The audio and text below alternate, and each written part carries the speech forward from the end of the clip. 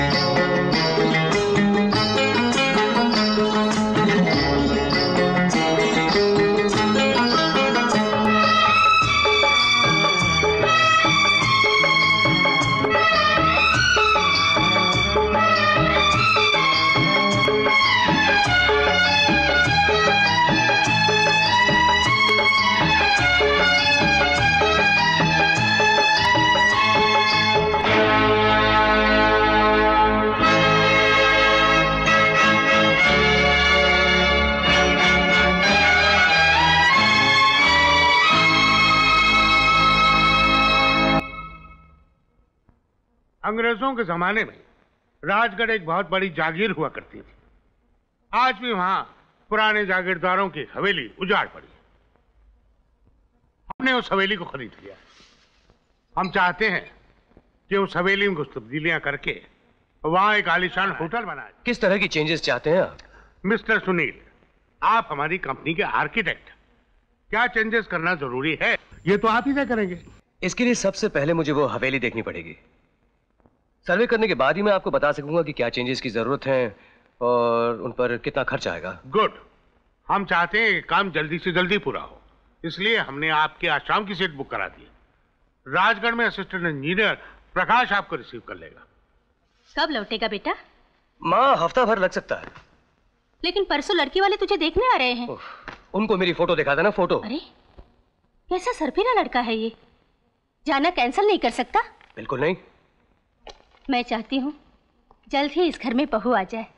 बाल बच्चों का शोर गूंजे। इस मुल्क में बाल बच्चे तो सभी पैदा करते हैं माँ। मैं नाम पैदा करना चाहता हूँ काम करके ओके? अरे सुनते हो? अब आप ही इसे समझाइए। हम लड़की वालों को क्या मुँह दिखाएँगे? बेटे जी। तुम अपना जाना कुछ रोज टाल नहीं सकते। नहीं पिताजी। कंपनी का बहुत ज़रूरी काम है। लेकिन जा कर रहे हो? राजगढ़। राजगढ़? जी हाँ। ये तो बहुत ही अच्छी बात है। लड़की वाले भी राजगढ़ के पास ही रहते हैं। तुम जाकर उन लोगों से मिल लेना। वो तुम्हें देख लेंगे और तुम लड़की को देख लेना। पिताजी अगर मुझे काम से फुर्सत मिली तो मैं ज़रूर मिलूँगा। बेटे फुर्सत तो निकालनी ही पड़ेगी। ये मेरा ऑर्डर है और मैं आज ही मदन लाल जी को टेलीग्राम भेज देता हूँ। अच्छी बात है अब अब मेरी गाड़ी का वक्त हो रहा है मैं चलता हूँ। Bye dad all the best जीते रहो।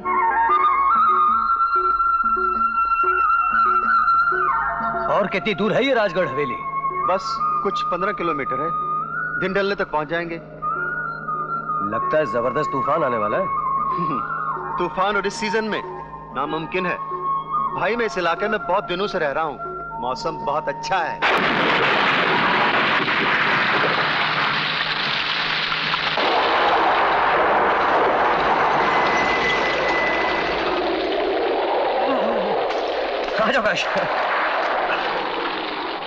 बड़ी वीरान हवेली है ये। रोशनी तक नहीं है। रजवाड़े उजड़ गए। कोई देखभाल करने वाला नहीं। सिर्फ़ एक बूढ़ा चौकीदार रहता है।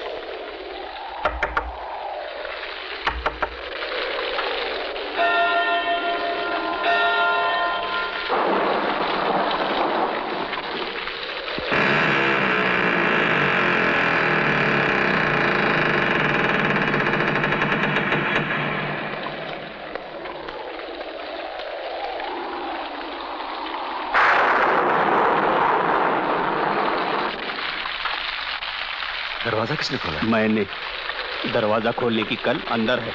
ओ बाबा ये वो आर्किटेक्ट साहब हैं जिनके आने की खबर मैंने आपको भिजवाई थी। अच्छा अच्छा। अंदर आइए। आइए। शुक्रिया।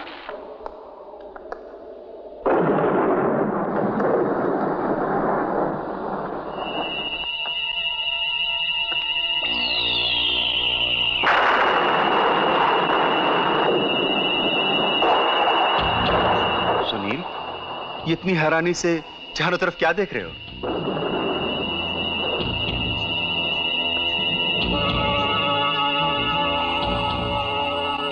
सुनिए। जी। यहाँ एक तस्वीर टंगी हुई थी ना? जी हाँ थी। लेकिन पिछले साल भूचाल आने के बाद गिर पड़ी। लेकिन तुम्हें कैसे पता चला कि यहाँ एक तस्वीर थी? पता नहीं ऐसा लगा कि यहाँ एक तस्वीर होनी चाहिए। मुझे तो ऐसा लगता है तुम्हें आर्किटेक्ट के बदले जासूस इस चरखी को हाथ मत लगाना। फानूस गिर पड़ेगा। फानुस?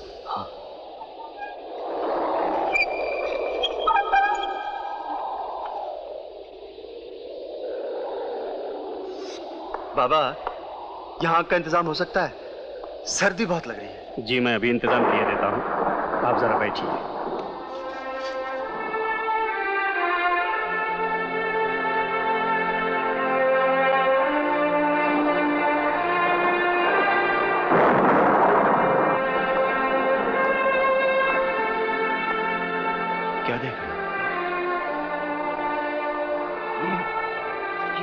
ग्रामोफोन कुछ कुछ अजीब सा महसूस हो रहा है प्रकाश। ऐसा लगता है जैसे मैं पहले भी यहाँ कभी आ चुका हूँ। भाई सुनील जब तुम आज तक राजगढ़ नहीं आए तो इस हवेली में कैसे आ सकते हो? ना जाने क्यों मुझे यहाँ की हर चीज़ जैसे जानी पहचानी सी लग रही है। और आर्किटेक्ट साहब ये सब सफ़र की थकावट का नतीजा है। तुम ऐसा करो तुम यहाँ थोड़ी देर आराम से बैठो और जरा रिलैक्स करो। कम कम रिलैक्स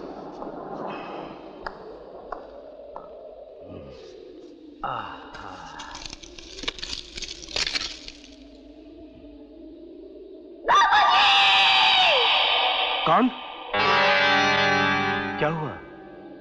तुमने भी कोई चीख नहीं सुनी? नहीं तो? लेकिन सुनील? ऐसे रिलैक्स आराम करो।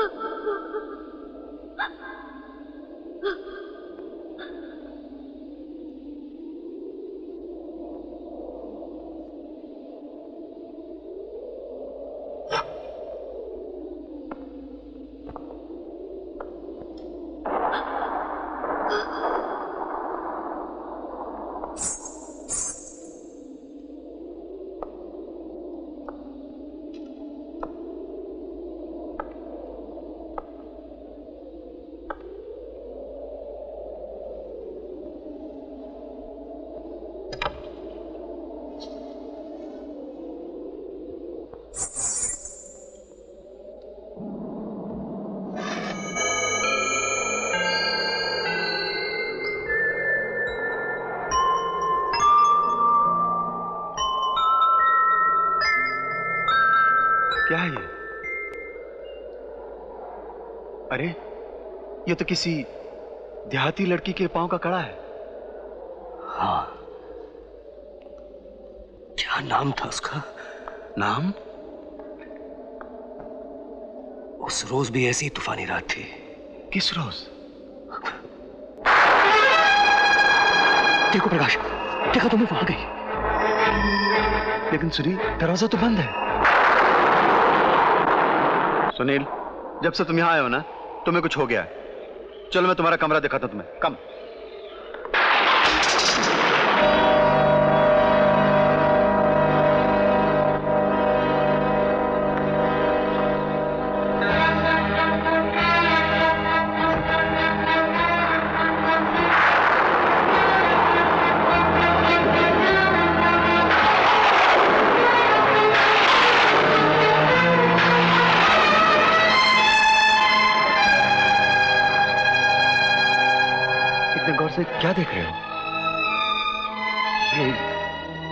देख रहे हो तुम? हाँ। ये खून के धब्बे हैं जो मैंने लगाए थे। क्या? क्या कह रहे हो तुम? लेकिन लेकिन तस्वीर तो बहुत पुरानी होगी। ये मैं मैं नहीं जानता लेकिन ये धब्बे मैंने लगाए थे मैंने लगाए थे। ठाकुर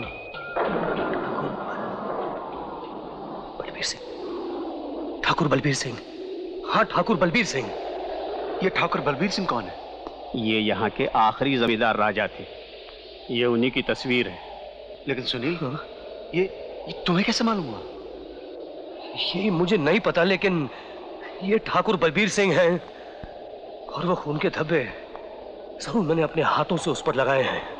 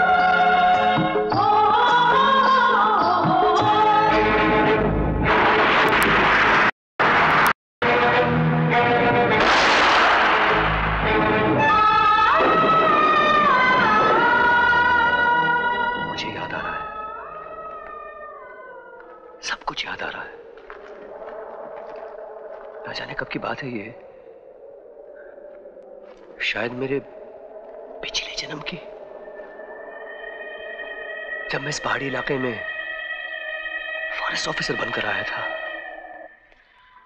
शायद किसी त्योहार का दिन था वो। अजी सुनिए टीसी साहब यहाँ कोई सवारी नहीं मिलेगी क्या? आज शिवरात्रि है कोई सवारी नहीं मिलेगी। ओह।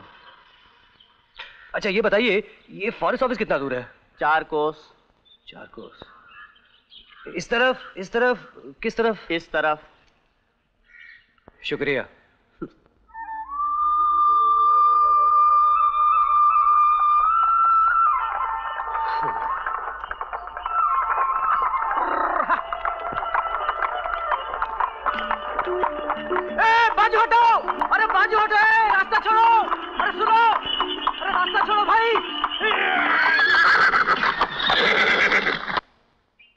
कोचवान गाड़ी क्यों रोक दी? मेम साहब कोई रास्ता रोक कर खड़ा है। बड़ा ही ढीठ है। ढीठ नहीं मेरा नाम विनय है विनय। आप शायद राजगढ़ जा रही हैं। मुझे भी वहीं जाना है। साथ में ले चलिए बड़ी मेहरबानी होगी। कुंवर जी की बग्घी में सवार होना चाहते हो तुम्हारी शामत तो नहीं आई? जी नहीं अकेला ही आया हूँ। सिर्फ़ एक सीट चाहिए। एक। दिलचस्प आदमी हो। बैठ जाओ पगे में। शुक्रिया। लेकिन मेम साहब अगर सरकार को मालूम पड़ा कि मैंने किसी अरे गहरे को बग्घी में बैठने दिया है तो मेरी खाल उधेड़ देंगे वो। उन्हें मैं जवाब दे दूँगी। तुम चलो। हाँ, ये कुंवर जी कौन है जिन्हें खाल उधेड़ने का शौक है? कुंवर बलबीर सिंह। और आप उनकी क्या लगती हैं जी? कुछ भी नहीं।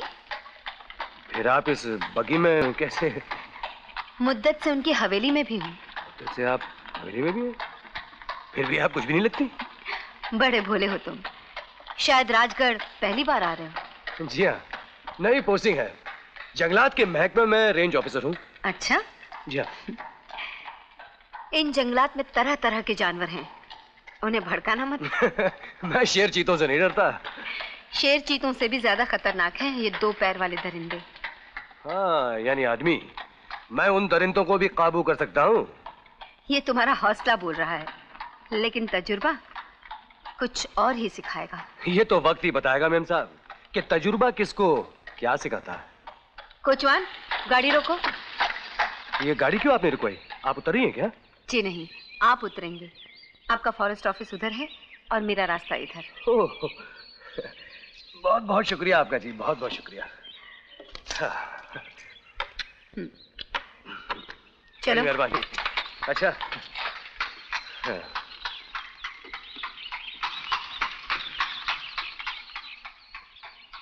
अच्छा तो बिरजू साहब। जी साहब। ये तो बताओ कि आपको खबर नहीं की गई थी हमारे आने की? जी मेरा घोड़ा पंक्चर हो गया था?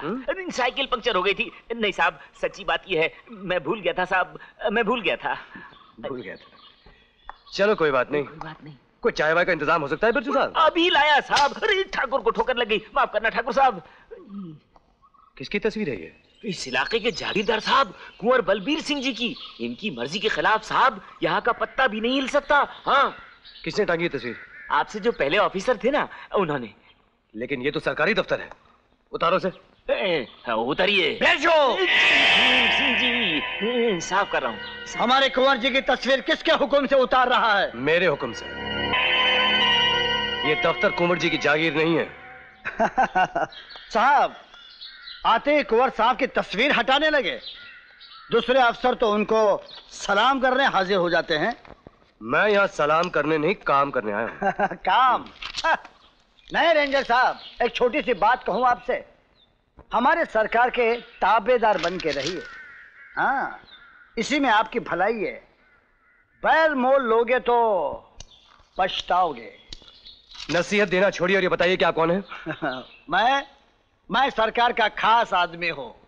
खास आदमी? हाँ। तो खास तौर से ये याद रखो कि आइंदा इस दफ्तर में आना हो तो सिर्फ़ इजाज़त लेकर ही आओ। अब तुम जा सकते हो यहाँ से।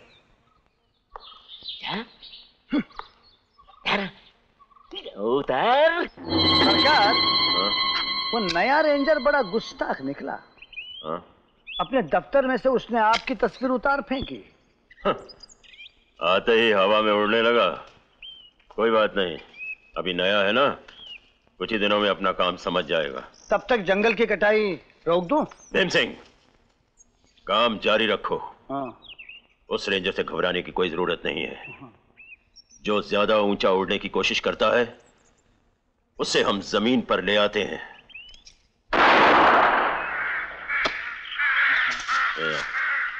चलो। देखा निशाना हमारा? सदा लाजवाब है कुंवर जी। वरना मैं क्यों शिकार बनती आपकी?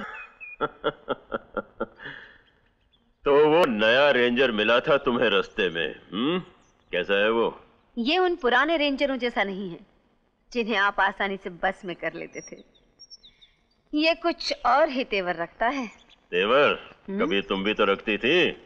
कर लिया ना बस में। मेरी बात और है। मैं तो एक नादान हेतनी थी। फंस गई। लेकिन राजा जी इस बार आपकी टक्कर में एक मर्द बच्चा है। लगता है कुछ कर दिखाएगा। एक मामूली रेंजर क्या कर दिखाएगा? उसकी औकात ही क्या है? अरे उसके जैसे तो छत्तीस छोकरे खरीद सकते हैं हम। देखा साहब एक दरख्त और गिरा दिया। हम्म ये सब ठाकुर के आदमी है? जी हाँ साहब। करो आइए। बंद करो या कटाई बंद करो वो कटाई कुंवर जी के प्रजा पे हुक्म चलाने वाले तुम कौन हो? सरकारी अफसर हूँ। और ये तमाम जंगल भी सरकार के हैं। ये तुम्हारे कुंवर जी की जागीर नहीं है समझे? रेंजर बाबू ये फूफा करने से पहले दफ्तर जाके नक्शे देखो नक्शे।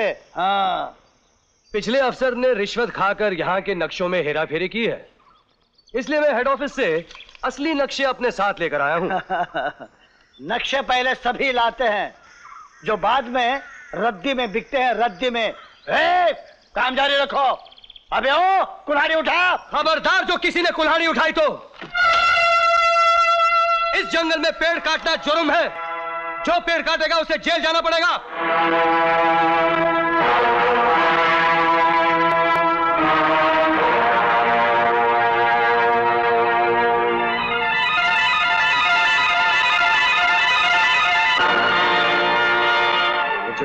यस सर तुम दफ्तर जाओ। जी। मैं आगे मुआयना करके आता हूँ। जी साहब। सुना नहीं? मैंने नहीं कहा है। साहब ने कहा है।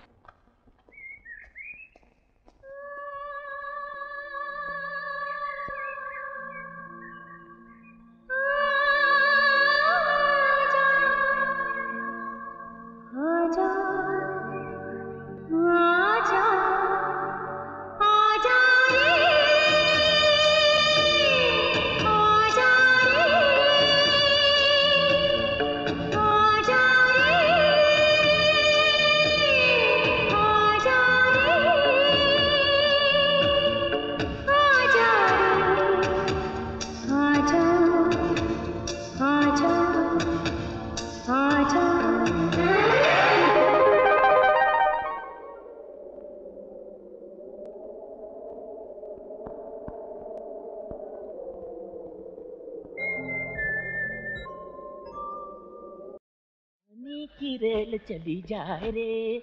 छका छुक छका छुक छका छुक अरे बिरजू। जी सरकार। जंगल में झरने के किनारे गाना कौन गाया करता? सवेरे सवेरे बुलबुल दोपहर में कोयल और रात में उल्लू साहब। मैं इंसान की बात कर रहा हूँ उल्लू। मैंने एक लड़की को गाते सुना है। बहुत मीठी आवाज़ थी। मीठी आवाज़। लड़की। लड़की खूबसूरत भी होगी। हो सकता है। मैं ठीक तरह उसे देख नहीं पाया। क्यों? उसने लैंप बुझा दिया था क्या? लैंप? कैसा लैंप? ये ये ये रोशनी वाला लैंप साहब कुछ लड़कियाँ जरा शर्मीली होती हैं। ऐसे वक्त में उन्हें रोशनी नहीं चाहिए होती है हाँ। क्या क्या बकवास कर रहा है? घबराइए मत साहब बिरजू बड़े बड़े राज हजम कर जाता है। पिछले रेंजर साहब इसी क्वार्टर में चंपा ग्वालन को लाया करते थे मगर ये बात मैंने आज तक किसी को नहीं बताई और न मरते दम तक बताऊँगा। हाँ? तो तुम समझते हो कि पिछली रात यहाँ कोई लड़की आई थी? अरे साहब मेरी तरह आप भी जवान हैं और जवानी में ऐसे गुल तो खिला ही और shut करते हैं। शट अप शर्म नहीं आती ऐसी बेहुदा बातें करते हुए? साहब मैं बेहुदा बातें तो नहीं कर रहा हूँ। ये ओढ़नी कुछ कह रही है। अरे बुद्धू ये ओढ़नी तो किसी झरने पार वाली लड़की की है। तेज हवा के झोंके से जो उसके गले से उड़ी सीधा मुझ तक आ पहुँची। मगर इस ओढ़नी के पीछे उड़ते उड़ते आप झरने के उस पार मत चले जाइएगा वरना खटिया पर आपकी वापसी होगी क्योंकि राजगढ़ वालों की और झरने के उस पार वालों की जानी दुश्मनी है साहब। ऐसा क्यों? इसलिए कि वो लोग इस जंगल के पुराने बाशिंदे हैं। कभी झरने के दोनों तरफ़ के इलाकों पर उनके मुखिया का राज था। मगर कंवर साहब ने अंग्रेज़ों को मस्का लगा लगा कर झरने के इस तरफ़ की ज़मीन अपने कब्जे में कर ली। बस फिर क्या था? वो लोग भाले और कुल्हाड़े लेकर टक्कर पर आ गए। इस तरफ़ बंदूकें थी। इधर से ठाकुर ने ठाए से बंदूक चलाई। बेचारा उधर का मुखिया ढेर हो गया। तब से अंधेर हो गया। अब उसका बेटा यानी कि नया मुखिया। अब राजगढ़ वालों के खून का प्यासा है सरकार। आप भूले से भी झरने के उस पार मत जाइएगा। भूले से तो नहीं। हाँ। जान बूझ के जा रहा हूँ। जाइए। अरे अरे सरकार मत जाइए सरकार मत जाइए सरकार। गए सर।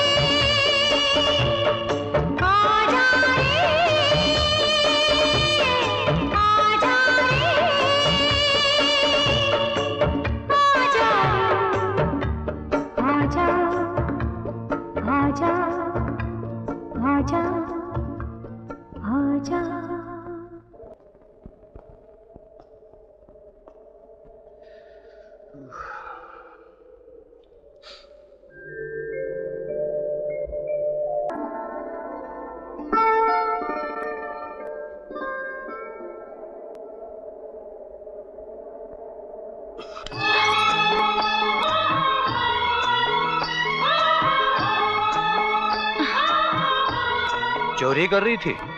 पर ये ओढ़नी मेरी है बाबूजी। मांग लेती? चुरानी क्यों लगी? मांगते डर लगता था। क्यों? मेरे सर पर सींग तो नहीं? नहीं। ओढ़नी दे दो ना बाबूजी।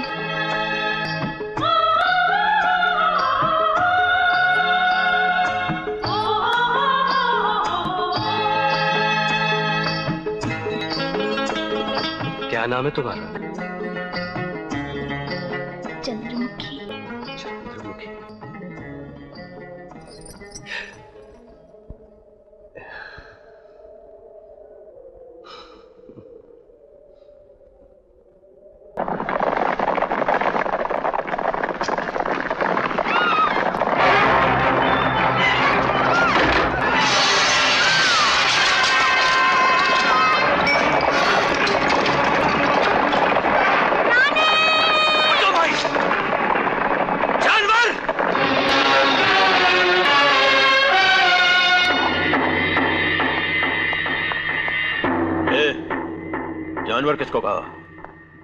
को नहीं सवार को। आज तक हमारे सामने किसी ने ज़ुबान खोलने की गुस्ताखी नहीं की। तुम्हारी ये ज़रूरत। ठहरिए सरकार ठहरिए। ये अंग्रेज़ बहादुर का आदमी है। नया रेंजर। हाँ। ओह, नया रेंजर। बड़ी तारीफें सुन चुका हूँ आपकी। मैंने भी बहुत कुछ सुना है आपके बारे में। उधर कहाँ से आ रहे हैं आप? कहीं झरने पार तो नहीं गए थे? जी हाँ गया तो था। मत जाया कीजिए वहाँ। बड़े खतरनाक लोग रहते हैं उस तरफ़। खतरनाक लोग तो इस तरफ़ भी हैं। हमसे दोस्ती करके हर खतरे से बचे रहेंगे आप। कभी हमारी हवेली पर भी हाजिरी दीजिए। वक्त मिला तो ज़रूर आऊँगा। शुक्रिया।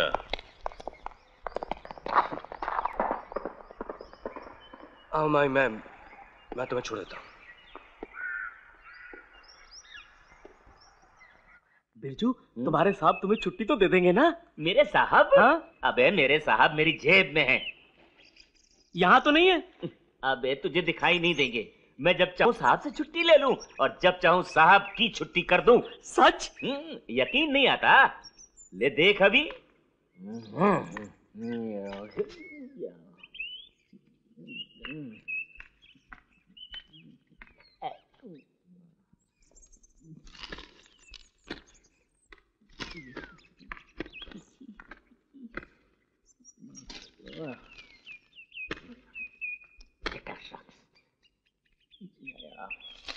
साहब आज सोनपुर का मेला लगा है। अगर आप जरा छुट्टी दे दे तो मैं जरा झूले में चिंगन चुकूँ चिंगन मैं यहाँ काम कर रहा हूँ और तुम सैर सपाटे के लिए छुट्टी मांग रहे हो। शर्म नहीं आती तुम्हें?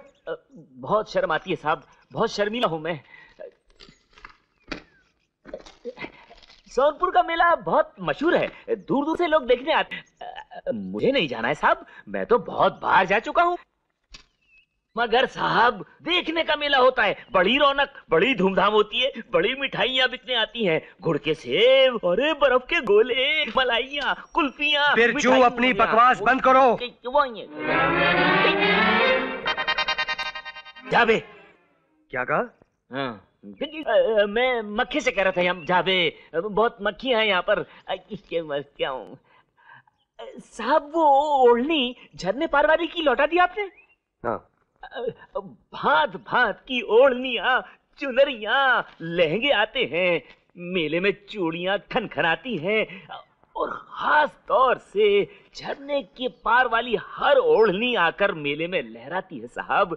अब जाऊँ मैं मेले में? अरे बाबा तू जा जा जा मेरी जान बख्श तू जा बस जा। नहीं आप कहते तो मैं नहीं जाता हूँ। तो फिर मैं चाहिए नहीं मैं जाता हूँ। मैं जाता हूँ जाता हूँ मैं।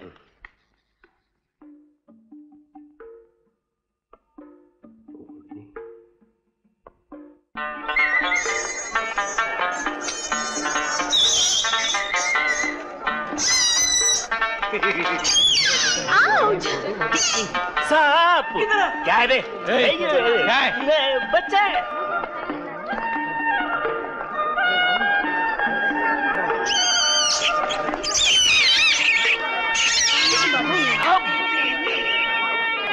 साहब मेले में झमेले में। कौन है कोई बात नहीं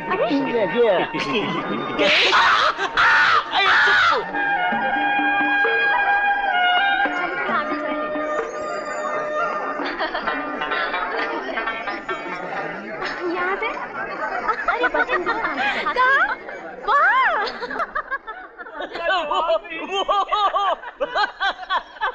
वो वो ये?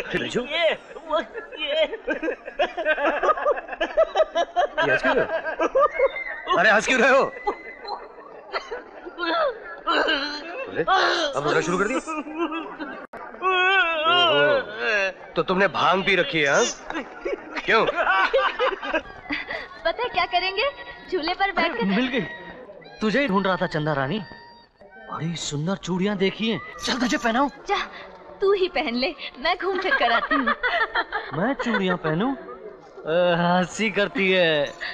एक दिन मैं ही तेरा घर वाला बनूँगा। तू?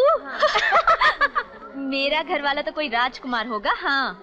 सात समंदर पार से आएगा मुझे लेने। ज़मीन में काट दूँगा अगर समंदर पार से आया तो। इस जन्म में तू सिवा मेरे किसी और की हो ही नहीं सकती। अच्छा तू जा। मेरे लिए वो वाली लाल चूड़िया ले आ। सच? हाँ जाना जा। वो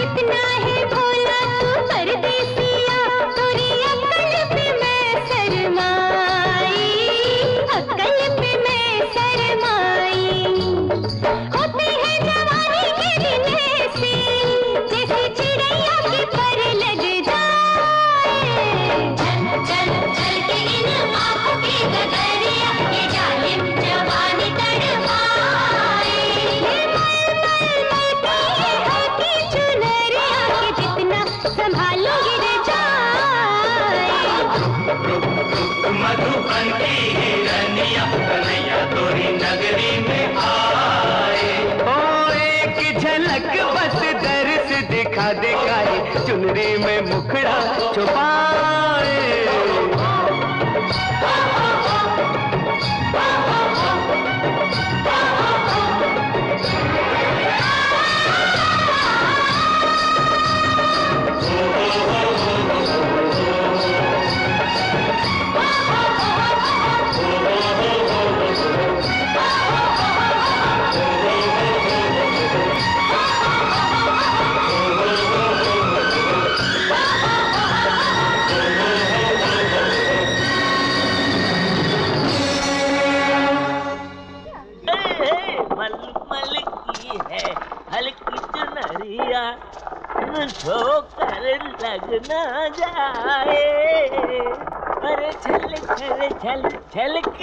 की की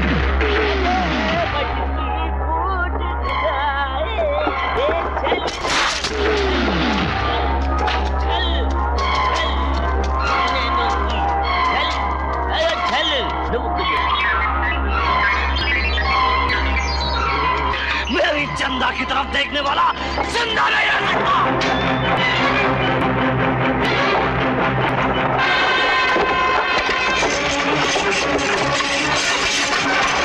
छल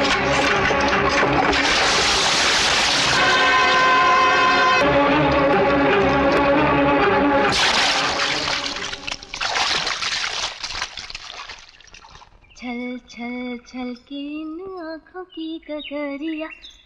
बाबूजी? बाबूजी? बाबूजी, तुम यहाँ क्या कर रहे हो बाबूजी? बाबूजी, आँखें खोलो ना। किससे बात कर रही पगली? ये बेचारा तो बेहोश है। मैं इसे उठा लाया हूँ। नदी में डूब रहा था। नदी में? लेकिन इन्हें तो वो क्यों? तू इस परदेसी को जानती है क्या? नहीं नहीं। हाँ भैया। क्या? मेले में आए थे बाबूजी। बातचीत नहीं की मैंने सिर्फ़ नाची गई इनके साथ। फिर ये मटकी का भंग पीकर लुढ़क गए। चलो ठीक है ठीक है। जाकर मेरा वो जड़ी बूटी का डब्बा लिया अच्छा भैया। बाबूजी? बाबूजी।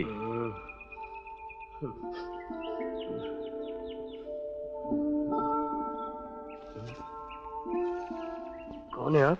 भैया है मेरे और सारी बिरादरी के मुखिया भी। यही तो तुम्हें उठाकर लाए थे नदी से। पर बाबूजी तुम नदी में कैसे पहुँच गए? वो भंग के नशे में क्या कुछ हुआ मुझे कुछ याद ही नहीं। इतना ज़्यादा मत पिया करो बाबू। मैं तो पीता ही नहीं हूँ। वो तो नाच गाने में इतना खो गया था मैं कि कि धोखे में पी गया। पहले धोखा होता है फिर आदत पड़ जाती है। होश में रहना सीखो बाबू वरना किसी दिन सचमुच डूब जाओगे। ठीक ही कहते हैं आप। सर भी इतना भारी है मेरा बस आप लोगों का बहुत बहुत धन्यवाद। अब मैं चलता हूँ। ठहरो बाबूजी ये जड़ी बूटी पी लो आराम आ जाएगा। एक ही घूंट में पी लेना बहुत कड़वा है। रहते कहाँ बाबू? झरने पार राजगढ़ में। क्या? राजगढ़ में? चले जाओ यहाँ से। जी। मैंने कहा चले जाओ यहाँ से। और भूल कर भी इस तरफ़ कदम नहीं रखना। बाबूजी तो बहुत अच्छे हैं भैया। इन्होंने मंगलू की माँ की जान बचाई है। तो भूल गई राजगढ़ वालों को जिन्होंने हमारी जमीनें छीन ली। हमारे बाबा का कत्ल कर डाला। मैं उन लोगों में से नहीं हूँ मुखिया। मैं तो कुछ ही दिन पहले यहाँ सरकारी फॉरेस्ट ऑफिसर बनकर आया हूँ। कुत्ते हैं सब। सरकारी ऑफिसर सब ठाकुर के कुत्ते हैं। चले जाओ यहाँ से। अरे मुखिया जी आपकी हवेली आप कौन हो तुम? मैं कोई नहीं हूँ मुखिया जी। आपने साहब की तलाश में यहाँ चलाया। मालूम न था कि आप दर्शन दे देंगे। संभाल अपने साहब को और वापस ले जाओ। ले जाऊँ। आज के बाद तुम दोनों में से कोई दिखाई दिया तो लाश जाएगी अरे मुखिया जी चार कंधों का प्रोग्राम मत बनाइए। हम अपने दो पैरों पर ही चले जाएँगे साहब। चले चलो चलो चली कसम है। चलो चलो चलो चलो चलो चलो। चलो बाबूजी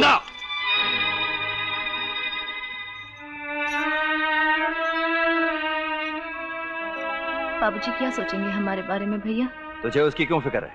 चल अंदर चल।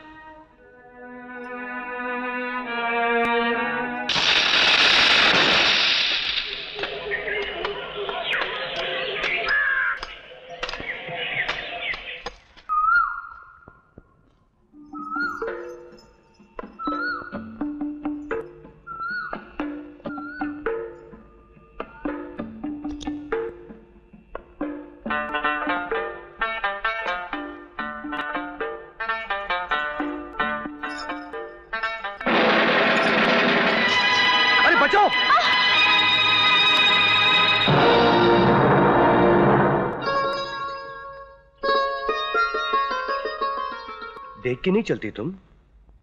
तुमने मुझे बचा लिया बाबूजी। वरना मैं चुड़ैल बन जाती। चुड़ैल? हाँ इतनी ऊपर से गिरती तो मरती नहीं क्या? हाँ हाँ। जवान लड़की बिना सुहागन बने मरे तो उसे चुड़ैल बनना पड़ता है हाँ। ओह अच्छा। ये तो बड़ी अजीब बात है हम्म? तुम्हें तो कुछ भी नहीं मालूम बाबूजी। हाँ हमें कौन समझा ये राज की बातें? मैं समझाऊँगी। अच्छा। अच्छा एक बात बताओ। तुम्हें डर नहीं लगता? डर किस बात का? अरे तुम्हारे भैया ने मुझसे मिलने से मना किया था ना। फिर भी तुम चली आई? बस आ गई। चलो अच्छा किया। बाबूजी वो कोयल की आवाज़ सुनी? हम्म? वो सुनहरी कोयल है। कोयल और सुनहरी? ये कैसे हो सकता है? सच कहती हूँ बाबूजी वो उस पेड़ पर रहती है। खुद देख लो। झूठ तो नहीं बोल रही? नहीं बाबूजी। जाओ ना खुद देख लो। चलो देखते हैं कहाँ है ये तुम्हारी सुनहरी कोयल। कहाँ है तुम्हारी ये सुनहरी कोयल? अरे ये तो काली है। क्या अरे ओ! अरे अरे ये क्या किया तुमने? क्या किया? अरे जुर्म का सबूत था इसमें। खोल कर तुमने इसका सत्यानाश कर दिया। तो बिगड़ते काहे को हो बाबूजी? अभी लपेट देती हूँ लो। लप, लपेट थोड़ी। वैसे इसमें तुम क्या दिखना चाह रही थी? ये ये धौंकनी। धौंकनी? हाँ लोहार के पास होती है ना इतनी बड़ी वाली। ऐसी छोटी नन्नी मुन्नी धौंकनी तो मैंने कभी देखी ही नहीं। पूरी तुम समा जाओगी इस नन्नी मुन्नी धागनी में हाँ। मैं? हाँ। और इतनी सी धौंकनी में? ये तो हो ही नहीं सकता। हो सकता है? कभी झील में अपनी परछाई देखी तुमने? हाँ। उसी तरह तुम नहीं तुम्हारी परछाई इसमें समा जाएगी। दिखाता हूँ। खड़ी हो जाओ। हम्म, खड़ी हो जाओ हाँ। स्माइल मुस्कुराओ। मुस्कुराओ। क्या हुआ? धौंकने की आड़ में आँख क्यों मारी? ओहो तुम्हें नहीं मारी चंद्रमुखी जी इस धौंकनी को मारी है। अब सीधी खड़े रहो ना। हाँ। चंदा! हाँ। भैया बुलाते हैं भागो। रुको रुको रुको। ये तो बता दीजिए फिर कब मिलोगी? आ, पता नहीं। जी चाहता है हम रोज मिला करें। अच्छा अ- अब मैं जाती हूँ। कल मिलूँगी। किस यही। वक्त? किस वक्त? जब ये कोयल कूकेगी ना तब। अच्छा और कोयल नहीं कुकी तो? कैसे नहीं कूकेगी बाबूजी? इस पेड़ पर उसका बसेरा है। हाँ। तड़के ही खाने की तलाश में निकल जाती है। हाँ। और दोपहर को लौटकर अपने जोड़े को पुकारने लगती है।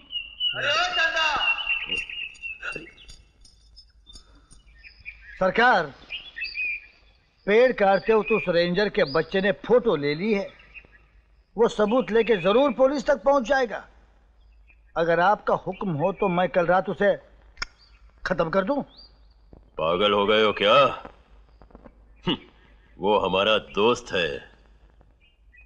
दोस्त की जान नहीं लेते। आपको हमारे साथ थाने चलना होगा। क्यों? आपके खिलाफ रिपोर्ट है। बाबूजी मैं आ गई। बाबूजी। बाबूजी?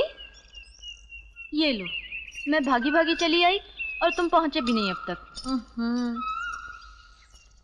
कोयल की आवाज़ भी सुनाई नहीं दी क्या तुम्हें?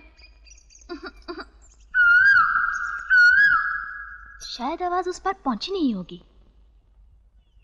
अरे कूक ना आज कुछ खाया नहीं है क्या? और ज़ोर से निगोड़ी और ज़ोर से। क्या मैं पूछ सकता हूँ मुझे यहाँ क्यों बुलाया गया है? आप सरकार को तो जानते हैं ना? ओ तो ठाकुर साहब आपकी सरकार है। मेरा तो ख्याल था कि आप ब्रिटिश सरकार के आदमी हैं। क्या मतलब? देखिए रेंजर साहब इंस्पेक्टर चाहे किसी भी सरकार का आदमी हो कानून की रक्षा करना तो इसका फ़र्ज़ है। ठाकुर साहब ने रिपोर्ट लिखवाई है कि आपने इनके आदमियों को इन्हीं की ज़मीन पर पेड़ काटने से रोका। वो ज़मीन सरकार की है। पेड़ सरकारी जंगलात के हैं। अच्छा ये रिपोर्ट तो मैं दर्ज करवाने वाला था। झूठी रिपोर्ट हम दर्ज नहीं करते। झूठी रिपोर्ट तो आप लिख चुके हैं। अब आपको मेरी सच्ची रिपोर्ट भी लिखनी होगी। मत भूलिए कि मैं भी आपकी तरह एक सरकारी अफसर हूँ इंस्पेक्टर। अपनी अफसरी जंगल में जाकर दिखाइए मिस्टर विनय। मत भूलिए ये पुलिस स्टेशन है। यहाँ मुझ पर धौस जमाने की कोशिश मत कीजिए। देखिए मैं मैं नहीं चाहता कि मेरी वजह से दो सरकारी अफसरों का आपस में झगड़ा हो।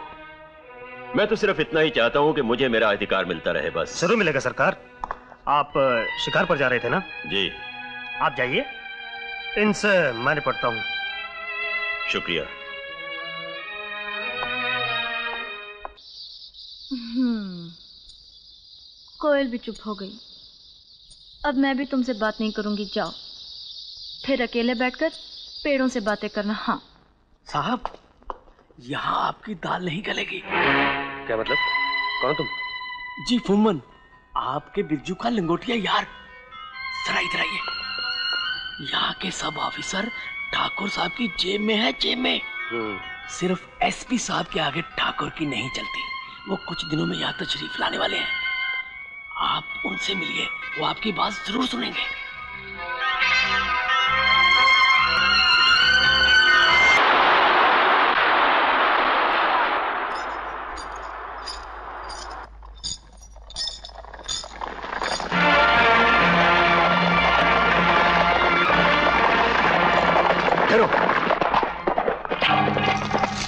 गए सरकार? लगता है झाड़ियों के पीछे कोई शिकार छिपा हुआ है।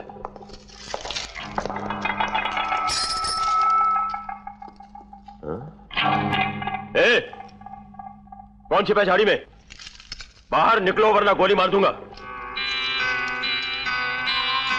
हाँ? चोरों की तरह छिपी क्यों थी लड़की? कौन हो तुम? जवाब दो कौन हो तुम? चंद्रमुखी। वाक्य ही चाँद सा मुखड़ा है। ये चाँद आज तक हमारी नज़रों से बचा कैसे रहा भीम सिंह? अपने इलाके का चाँद नहीं है सरकार। झरने पार वाला है। वहाँ के मुखिया की बहन है ये। भीम सिंह। जी। तुम जाओ। अब हम अकेले ही शिकार करेंगे। जी सरकार। वही रुका चंद्रमुखी। ए रुक जा।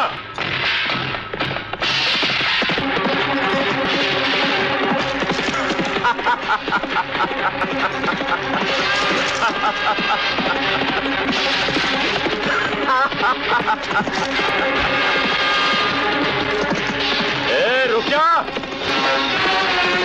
जाएगी कहाँ तू?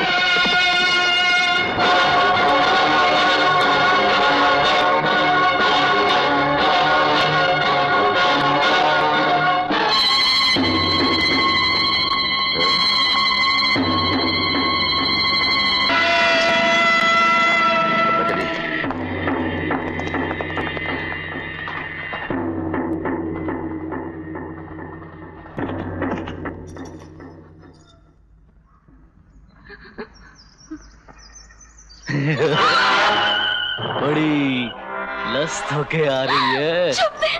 चंचल जवानी अगर तुझसे संभाली नहीं जाती तो मैं हूँ ना तेरी जात बिरादरी वाला। उस शहरी कमीने में क्या रखा है, हैं? तूने मुझे थप्पड़ मारा अपने होने वाले मर्द को थप्पड़ मारा आज मैं तेरी सारी अकड़ निकाल दूँगा। बाबू के साथ ऐश करती है बच्चन अरे पर निकल आगे चलन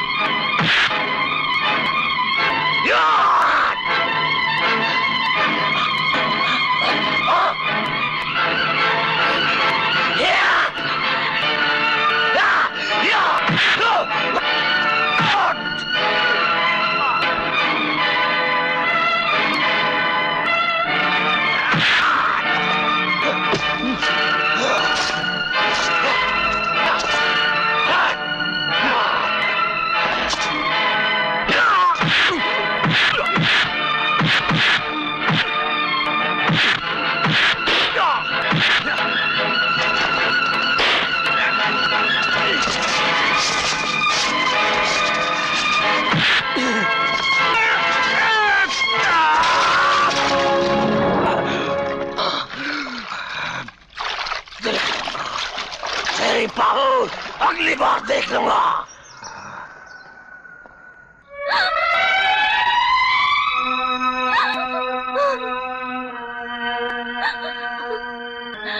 तुम कहाँ थे बाबूजी? कहाँ थे तुम? तुम जानते नहीं मैंने तुम्हारी कितनी राह देखी। कहाँ थे तुम? रो मत चंदा। फिर कभी ऐसा नहीं होगा। दुनिया इधर की उधर हो जाए मैं कभी देर से नहीं आऊँगा। मुझे बहुत डर लगता है बाबूजी। कोई मुझे तुमसे छीन न ले। मैं उसे ज़िंदा नहीं छोड़ूँगा चंदा। मुझे कसम है तुम्हारी। बाबूजी बाबूजी।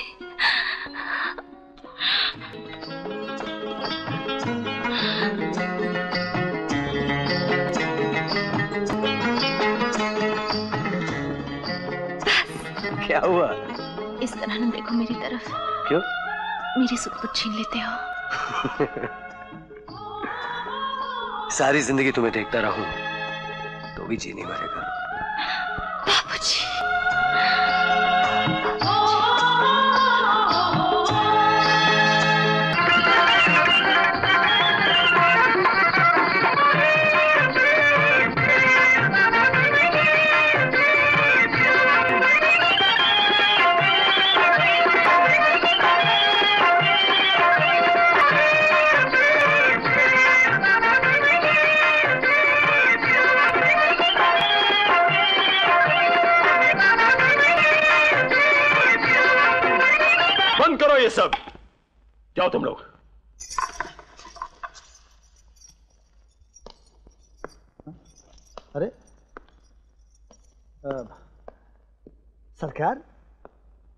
ये मुजरा क्यों बंद करवा दिया?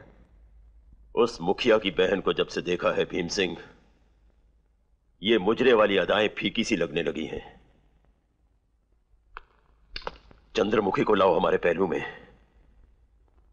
मासूम अदाओं का खजाना है उसके पास। उस खजाने पे नया रेंजर नाग जैसा कुंडली मारे बैठा है सरकार। कुचल डालो उस नाग को।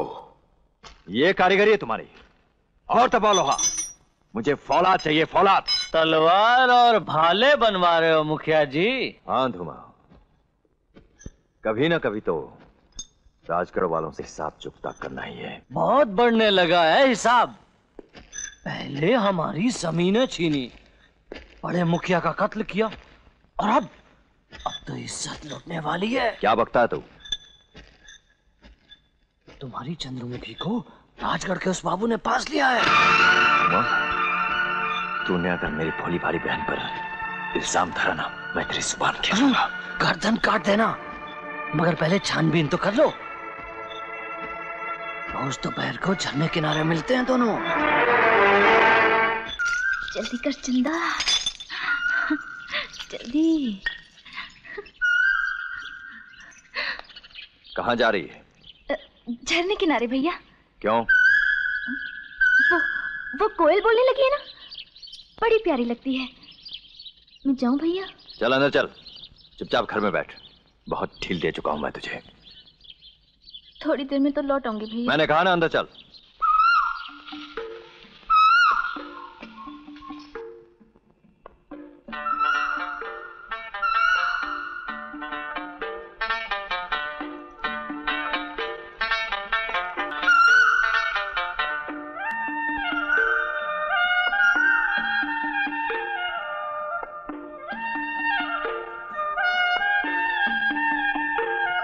कहाँ जा रही है। चल अंदर। मैं बाहर थोड़ी जा रही थी।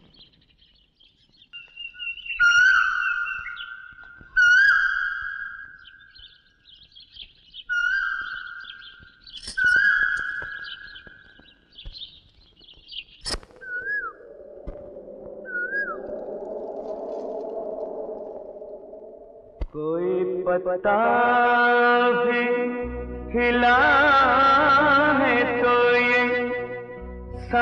समझा है कि तू है शायद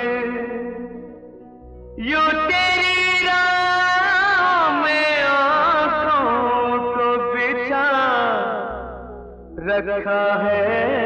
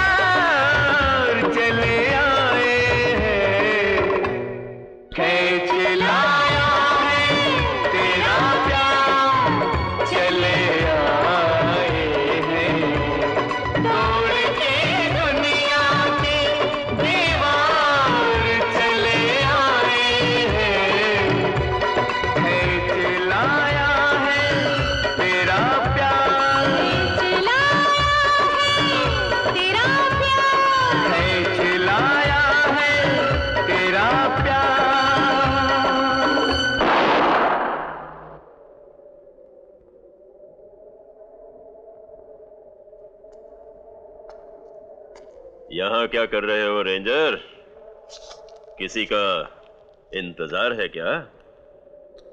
ये बताइए आप दुश्मन के इलाके में क्या कर रहे हैं? किसी की तलाश है क्या? शिकार की तलाश में आया था लेकिन शायद अब नहीं मिलेगा। भारी तूफ़ान उठने वाला है। मैं तो कहता हूँ कि तुम भी लौट जाओ। ना तो मुझे तूफ़ान का डर है और ना ही तूफ़ान उठाने वालों का। फिर ना कहना कि खबरदार नहीं किया रेंजर साहब।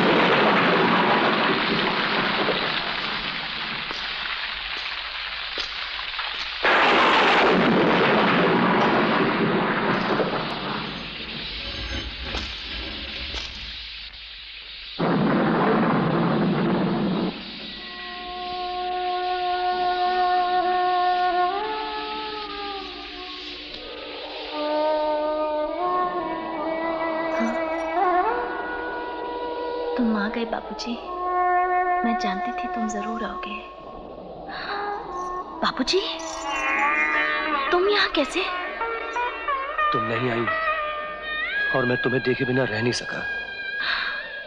भैया को तो पता नहीं चला।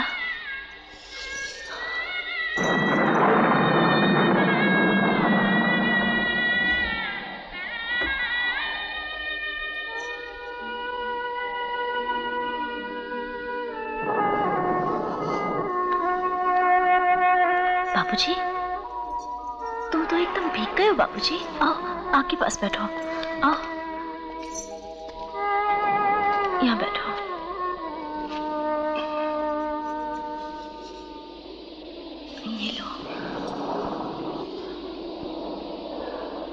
फिर कभी ऐसा मत करना चंदा। मैं मजबूर थी बाबूजी। तुम नहीं आई तो ना जाने कैसी कैसी बातें मन में आने लगी। कहीं मेरी चंदा को कुछ हो ना गया हो बिजलियाँ कड़कने लगी। बारिश ने चारों तरफ़ से घेर लिया और फिर मेरे अंदर एक तूफ़ान सा उठने लगा। मेरी चंदा ठीक तो है ना? उसे कुछ हो हो तो नहीं गया। फिर मेरे से रुका नहीं गया। तुम्हें देखे बिना मुझे चैन कैसे मिलता चंदा? और ये क्या? तुम रो रही हो? तुम तुमने मेरे लिए इतने दुख उठाए बाबूजी और मैं मुँह चली यहाँ चैन से पड़ी थी भगवान करे हमेशा ऐसा ही हो। जितने तूफ़ान जितनी बिजलियाँ हो वो मेरे हिस्से में आ जाए। और सारे सुख, सारी खुशियाँ तुम्हारी झोली में भर जाए। तुम हमेशा चैन की नींद सोती रहो, चंदा। नहीं, बाबूजी, तुम्हें छूकर कहती हूँ, अब तुमसे मिले बिना मैं कभी नहीं सोऊँगी। मुझे अपने दुख सुख का साथी बना लो, बाबूजी। मैं तो मरकर भी तुम्हारे पास रहना चाहती हूँ। सच, बाबूजी, मर जाऊँगी, लेकिन तुम्हारे साथ ही रहूँगी। हंसूँगी तो साथ हंसूँगी रहूँगी तो साथ रहूँगी। कमीने बदमाश आधी रात को हमारी इज़्ज़त पर हाथ डालने आया है। मैं तुझे जान से मार डालूं। मेरी मेरी मेरी जान। ले ले मुखिया। मगर मेरी मोहब्बत पर ऐसा नीच और झूठा इल्ज़ाम मत लगाओ तो मेरी ये हट जा चंदा तू नहीं जानती इन शहरी भेड़ियों को।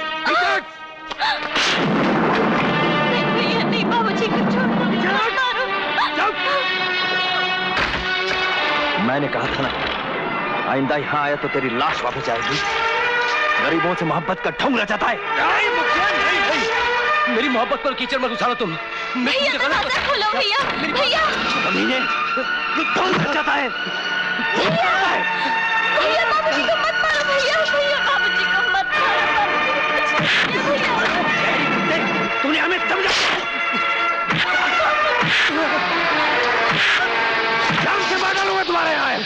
यहाँ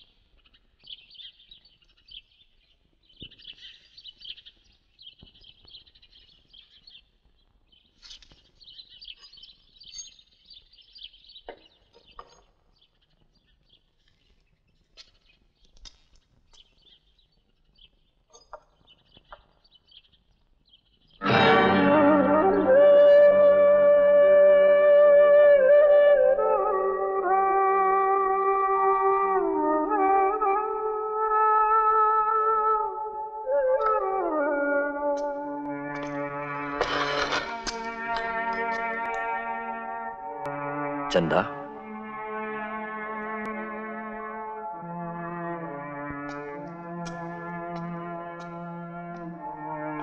पगली भैया भैया।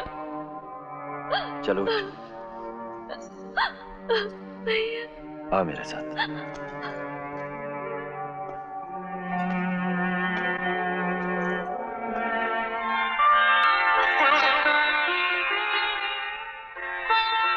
जा पूछ अपने बाबू से तो तुझसे ब्याह करेगा। जा पूछ?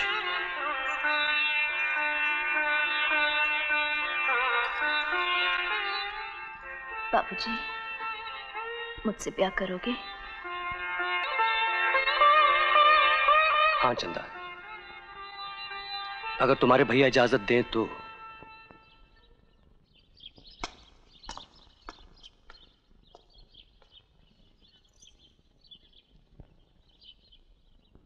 चंदा बाबूजी के घाव पर बूटी कुट कर लगा देना।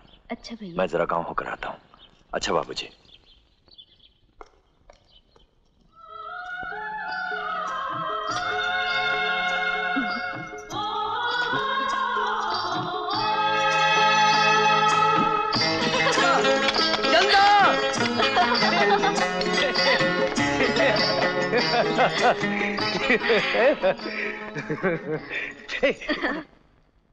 तो उस रेंजर ने जमीनें वापस दिलवाने का वादा किया है मुखिया से? हाँ सरकार। भरी बिरादरी के सामने। ये खबर मुझ तक पहुँचाने के लिए तू क्यों चला आया? अपने मुखिया से गद्दारी क्यों कर रहा है? चंद्रमुखी को पाने के लिए मैं दो चार कत्ल भी कर सकता हूँ सरकार। ये चंद्रमुखी पर लट्टू है सरकार। हाँ हाँ हाँ। और इसने बताया कि मुखिया चंद्रमुखी का ब्याह उस रेंजर से कर रहा है। हाँ। ब्याह? उस रेंजर से? हाँ हुजूर। इसीलिए आपकी शरण में आया हूँ हुजूर। आप तो बहुत ताकतवर है माई बाप। ठीक है ठीक है। उधर की खबर इधर पहुंचाते रहो। हाँ हाँ हाँ। इनाम में तुम्हें चंद्रमुखी मिल जाएगी। और ये इनाम जल्दी दिला देना माई बाप। वरना अगली एकादशी को चंद्रमुखी का ब्याह उस शहरी बाबू से कर दिया जाएगा। अरे एकादशी तक बाबू राजगढ़ में ज़िंदा रहेगा तब ना?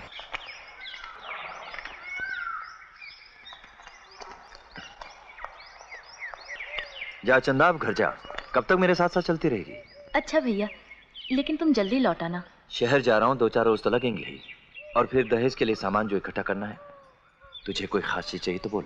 नहीं मुझे कुछ नहीं चाहिए भैया। बस तुम जल्दी लौट आना तुम्हारे बिना मैं बिल्कुल अकेली पड़ जाऊँगी। अब तू अकेली कहाँ है? बाबू है ना तेरी देखभाल करने को? अकेला तो मैं पड़ जाऊँगा। जब मैं तेरा ब्याह करके तुझे विदा कर दूँगा। नहीं भैया मुझे नहीं ब्याह करना। मैं तुम्हें छोड़कर कहीं नहीं जाऊँगी। पकली कहेगी इतनी बड़ी हो गई बचपन अभी तक नहीं गया। जा घर जा मैं चलता हूँ।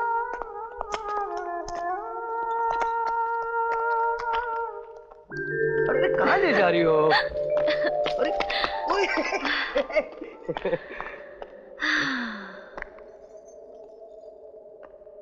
कितनी अजीब जगह है ये। एकदम सन्नाटा। कितनी शांति है यहाँ। है ना? हम्म, मैं तो कई बार यहाँ आकर घंटों बैठी रहती हूँ। अकेली? उस वक्त मैं अकेली नहीं होती। अकेली नहीं होती? तो फिर कौन होता तुम्हारे साथ? ये ये सब देख रहे हो? ये सब हमारे पुरखों की समाधियाँ हैं और वो मेरे माँ और बाबा की। जब मैं यहाँ आती हूँ तो ऐसा लगता है कि ये सब मेरे पास है मुझसे बातें कर रहे हैं। आओ बाबूजी उनका आशीर्वाद ले ले। आओ ना। जो मर चुके हैं वो वो आशीर्वाद कैसे देंगे? देंगे बाबूजी इस दुनिया में कोई नहीं मरता। जिनसे सच्चा प्यार हो वो हमेशा साथ रहते हैं। चलो आओ। आओ ना।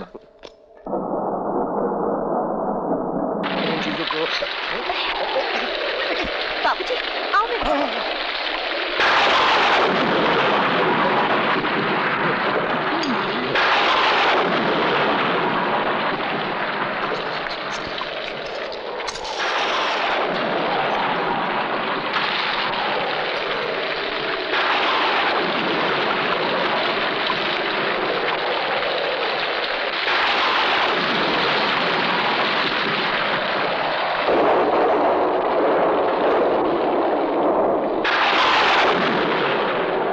कोई है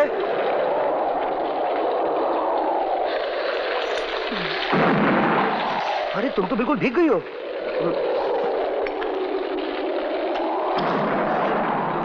एक काम कर तुम ही पहन नहीं नहीं मैं ठीक हूँ। अरे कहीं ठंड लग जाएगी तो बीमार पड़ जाओगी वहाँ जल्दी और पहन लोगे।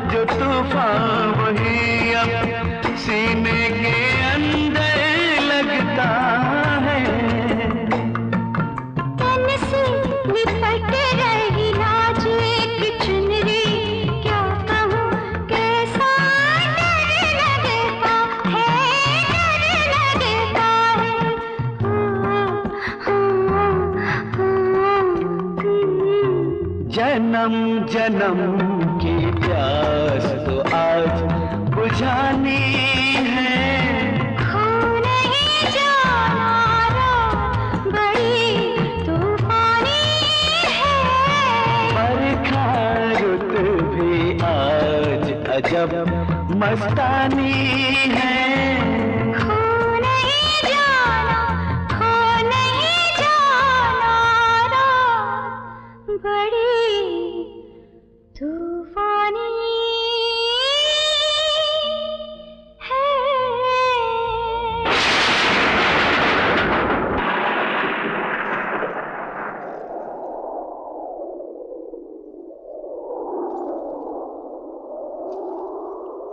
सांड की तरह अंदर कहाँ घुस रहा है? तेरे तबेला नहीं है। चुप हाँ। है। साले हजाम। हाँ। ये तो मैं क्या हो रहा है सब?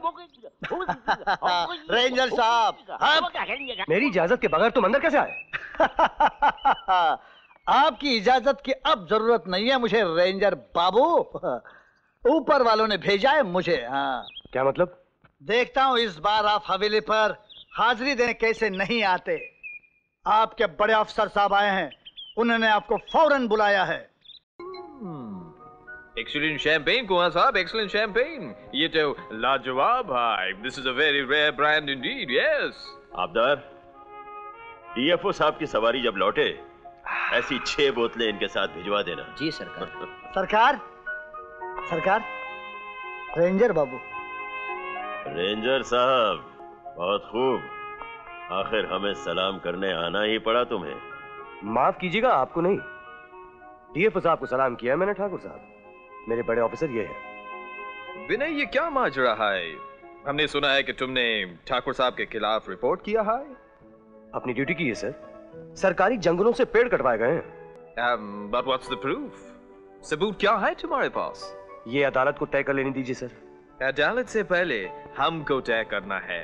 रिपोर्ट वापस ले लो। विदड्रॉ इट ठाकुर साहब भी यही चाहते हैं सर। भीम सिंह के ज़रिए एक मोटी रकम ऑफ़र की थी इन्होंने? हम तुमको रिश्वत देकर ऐसा करने को क्या चाहा है? मैंने तो ऐसा नहीं कहा सर। आप ही बेहतर जानते हैं। तुमको वो रिपोर्ट वापस लेना ही होगा। ये हमारा ऑर्डर है। ठीक है सर। आप अपना ऑर्डर लिख कर दे दीजिए मुझे। ताकि सबूत रहे कि गलत काम मैंने नहीं किया आपने करवाया है। ये गुस्ताखी तुमको लिखा हुआ ऑर्डर चाहिए। ठीक है। हम तुम्हारे ट्रांसफ़र का ऑर्डर अभी लिख देता है। तुम आज राजगढ़ छोड़ दो और कल बंदेपुर पहुँचते ही नया ड्यूटी ज्वाइन कर लो अंडरस्टैंड और कुछ सर यू मे गो ना ना ना ना। मैं तुम्हें नहीं जाने दूँगी। भैया भी शहर गए हैं। और अब तुम भी जाने लगे? नहीं। सिर्फ़ दो या तीन दिन की तो बात है मेरी चंद्रमुखी जी। नहीं। एक दिन के लिए भी नहीं। जाने क्यों मुझे डर लग रहा है? बाबूजी तुम चले गए तो मैं एकदम अकेली हो जाऊँगी। और अगर मेरी बदली हो गई तो भी तुम अकेली हो जाओगी। देखो चंदा मेरा अफसर राजगढ़ से मुझे कहीं और भेजा है। मुझे शहर जाना है बड़े साहब से बात करनी है और वो ऑर्डर रुकवाना है। बस गया और आया। और अगर वो ना माने तो? मैंने तो तो मैं नौकरी छोड़ दूँगा। और हमेशा हमेशा के लिए अपनी चंदा के पास आ जाऊँगा। अच्छा तो चलो मेरे साथ। कहा? कुल देवता के पास। उनका आशीर्वाद लेकर जाना। मैं मैं उनसे प्रार्थना करूँगी तो तुम्हारे बड़े साहब ज़रूर मानेंगे तुम्हारी बात। ज़रूर। मैं पूजा की थाली लेकर आती हूँ। अब कितना और चलाओगी? बस यही है बाबूजी। आओ ना।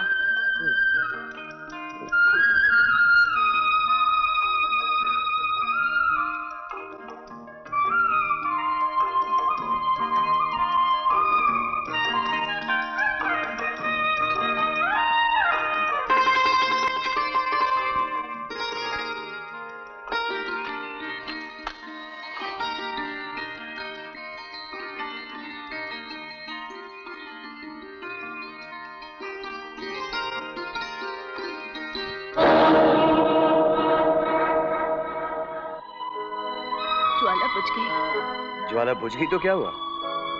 ये बहुत बड़ा अपशगुन होता है। जिसकी ज्वाला बुझ जाती है वो मर जाता है। ऐसी मनुष्य बातें नहीं करते चंदा। नहीं ये सच है बाबूजी। मैं मरना नहीं चाहती। तुम्हें मिलने से पहले मैं मौत से नहीं डरती थी।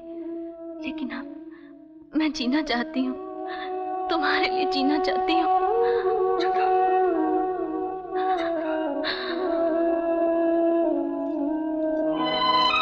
इतनी बड़ी सजा मत दो कुल देवता अभी तो मैं सुहागन भी नहीं बनी।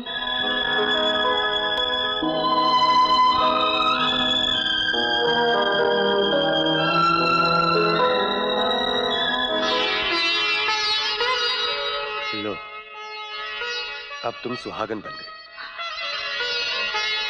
भगवान साक्षी है।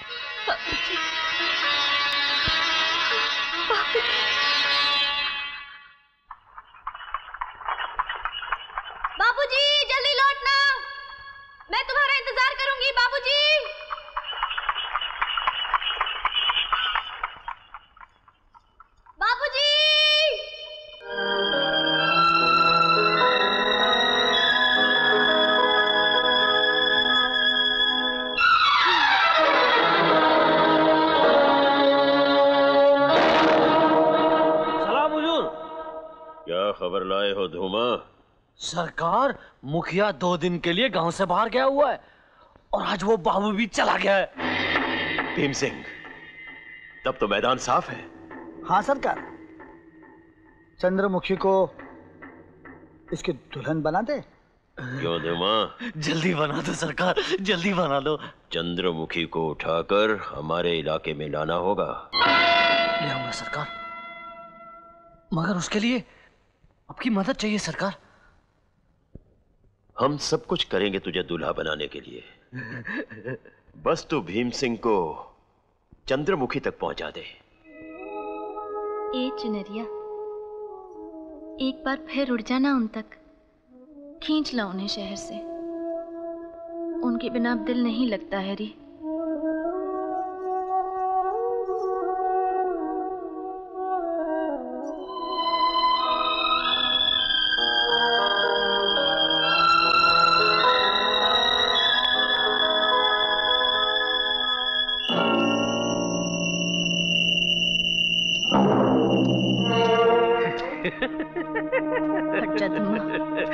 बाबू तो चला गया। आज तुझे कौन बचाएगा? मेरी बात मान ले। मेरे साथ झरने के पास चल। मैं तुझे अपनी दुल्हन बनाऊँगा। मुझे छोड़ दे। जिद करेगी तो नहीं छोड़ूँगा। पहले सुहाग रात मनाऊँगा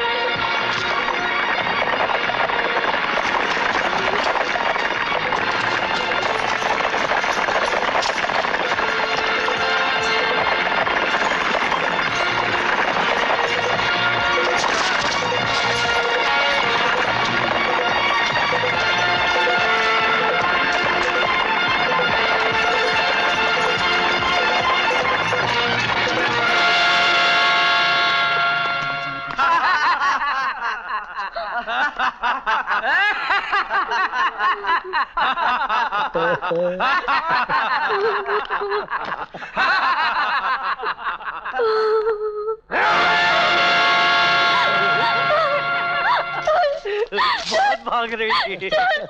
मेरी दुल्हनिया बहुत भाग रही थी। अब कैसे भागेगी अब तो तुझे धूमा की दुल्हन बनना है। चल!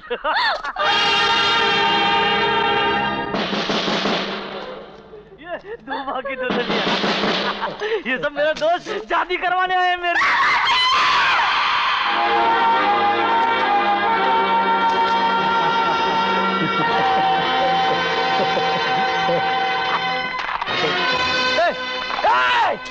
जा रहे हो मेरी दुल्हनिया को? अरे हाँ भाई हाँ। दुल्हा तो यहीं रह गया। हाँ दुल्हे राजा, तुम्हें भी पहुँचा देते हैं ठिकाने तक।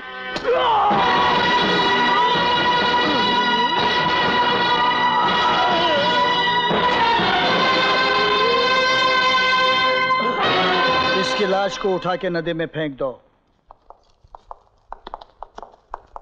हम्म।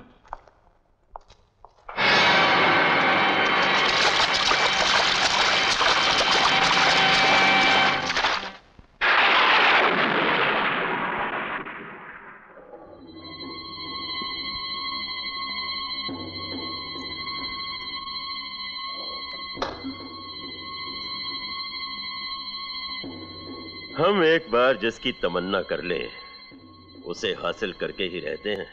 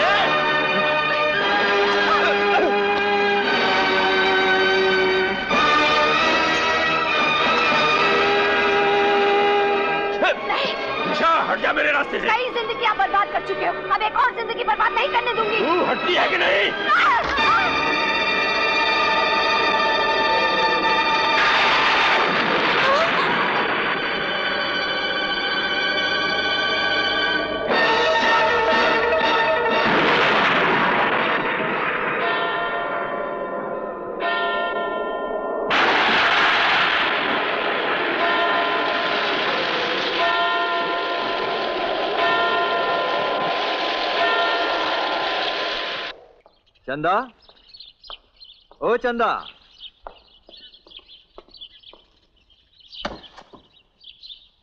देख कितना सारा दहेज का सामान लाया हूँ मैं तेरे लिए।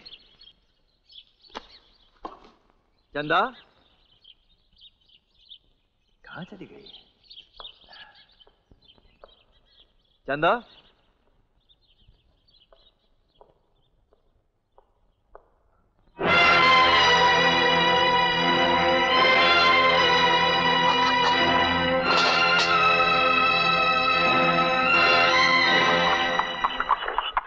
राम मुखिया कैसे हो?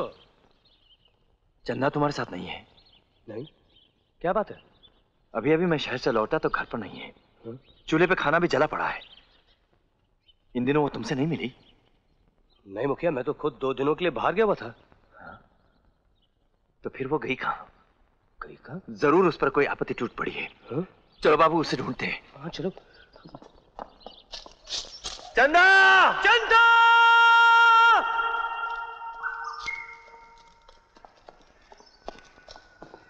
चंदा! चंदा! चंदा!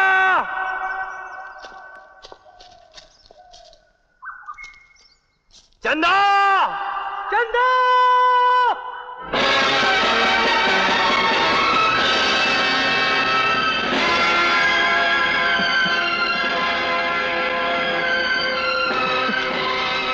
मुखिया मुखिया कुछ मालूम पड़ा? मुखिया बाबूजी ये तो हाँ बाबूजी खून के हैं। चंदा को कोई जंगली जानवर नहीं! नहीं मुखिया नहीं। मुखिया ऐसा नहीं हो सकता। चंदा यही चंदा चंदा चंदा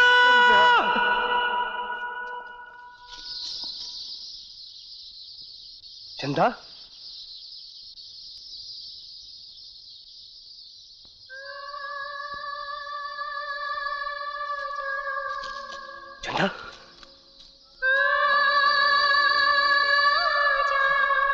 चंदा।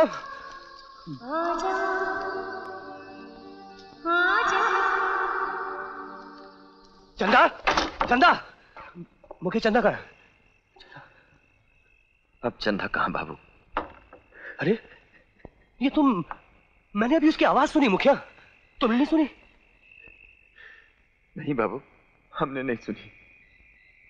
लेकिन ये ये चंदा मुखि- मुखिया ये चंद, आ रही हूँ हम तुम आओ मेरे साथ। आओ आओ।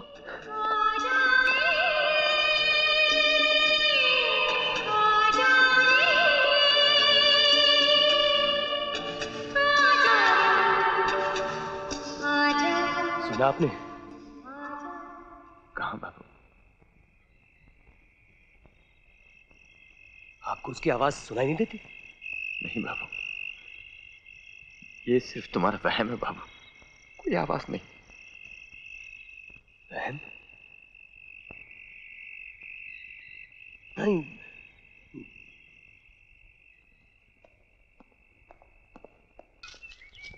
अरे साहब साहब मैं आपको कहाँ कहाँ ढूंढ रहा था? कल्लू तांगे वाले ने मुझे बताया कि आप कल ही वापस लौट आए। आप क्वार्टर में क्यों नहीं आए साहब? चंदा की तलाश में भटक रहा हूँ। तुमने उसे कहीं देखा है? चंदा क्यों अपने घर में नहीं है वो? नहीं उसे ढूंढ ढूंढ के परेशान हो गया हूँ। ना जाने कहाँ गायब हो गई है वो। गायब? कहीं? कहीं क्या? साहब मैंने दो दिन हुए देखा था वो भीम सिंह झरने के इस पार एक लड़की को कंबल में लपेटे हुए लाया था और हवेली की तरफ़ ले गया। हवेली? हाँ। साहब अरे साहब अरे साहब आप मत जाइए वहाँ। हवेली में मत जाइए वहाँ खतरा है। अरे हाँ, मुखिया जी हाँ।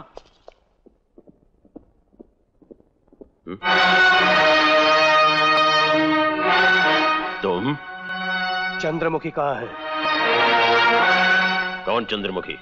मुखिया की बहन चंद्रमुखी। बोल ठाकुर। कहाँ है वो? यहाँ कोई चंद्रमुखी नहीं है। तुम्हारी ज़रूरत कैसे हुई यहाँ आने की? सीधी तरह बता दे चंद्रमुखी कहाँ है ठाकुर? वरना मैं तेरा खून पी जाऊँगा।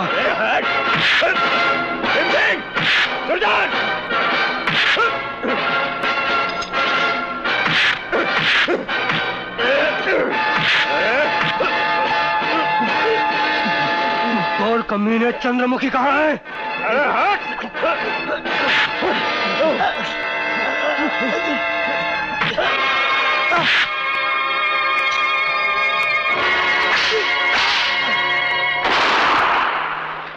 मार डालो इस रेंजर के बच्चे को। और लाश उठाकर नदी में फेंक दो।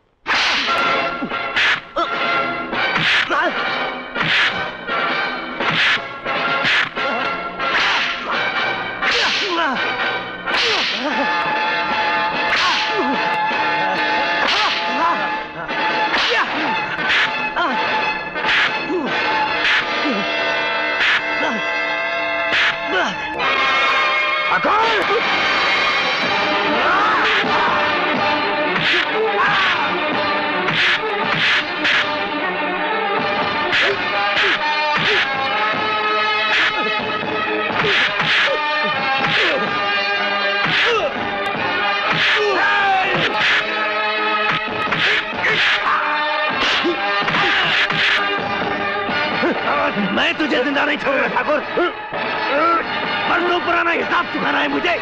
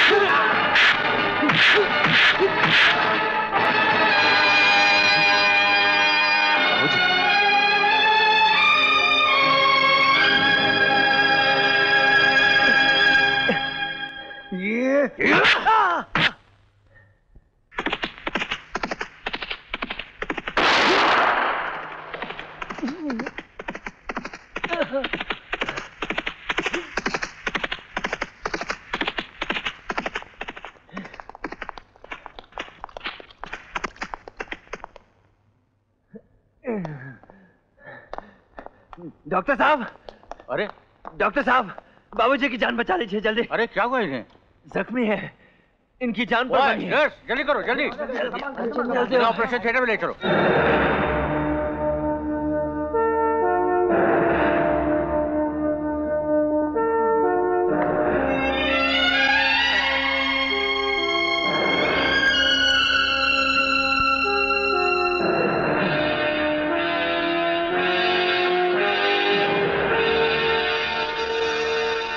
फ़िक्र की कोई बात नहीं। तुम्हारे बाबूजी अरे भाई, कहाँ खो गए तुम? अरे अरे अरे।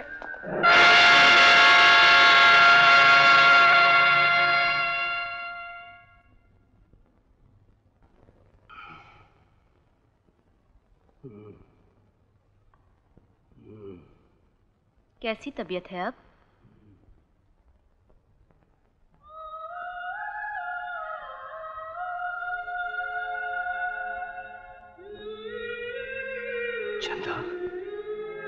दवा पी लीजिए। तुम कहाँ चली गई थी चंदा? मैं तुम्हें ढूंढते ढूंढते पागल हुआ जा रहा था। देखिए आपकी तबीयत ठीक नहीं है। ये दवा पी लीजिए और यहाँ लेट जाइए। कैसी बातें कर रही हो तुम? और ये ये लिबास तुम इतनी बदल कैसे गई चंदा? मैं चंदा नहीं हूँ। देखो मज़ाक मत करो। मेरे पास आओ। अपने बाबूजी के पास आओ चंदा। मुझे छोड़ो। हाँ? मैं चंदा नहीं हूँ। क्या हो गया तुम्हें? चंदा चंदा अरे बाबूजी मुझे नहीं पहचानती तुम।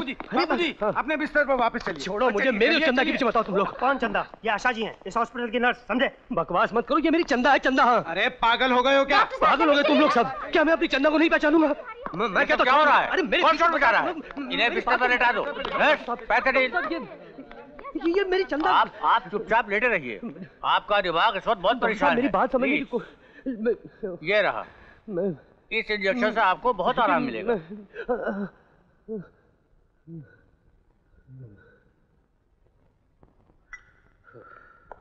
हेड इंजरी की वजह से कई बार मरीज़ उल्टी सीधी बातें किया करते हैं।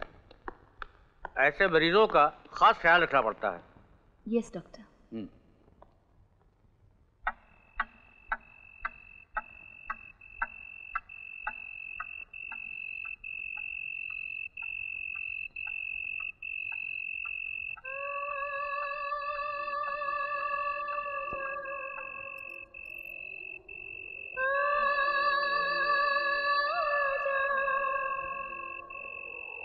hmm.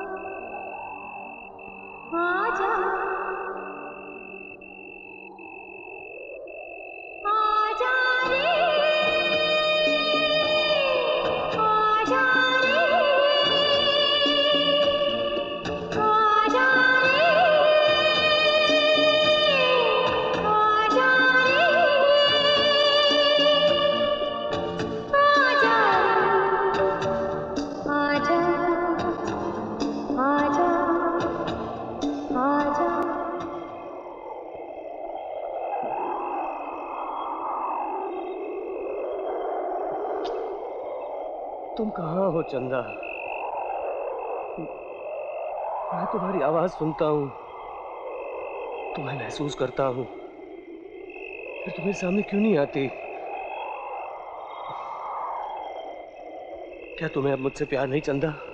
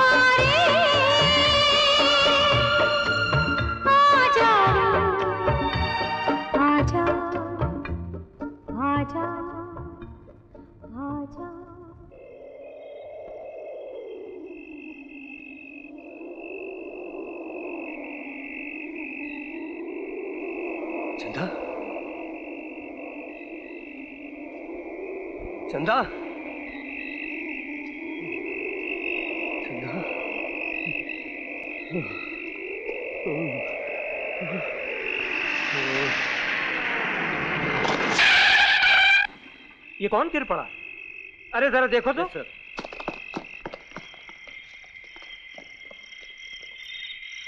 सर ये तो बेहोश मालूम होता है। इसे उठाकर जिप में ले आओ। ये अच्छा उठाओ। सुनो जी। इस बेड का पेशेंट कहाँ गया? आ, पता करता हूँ है।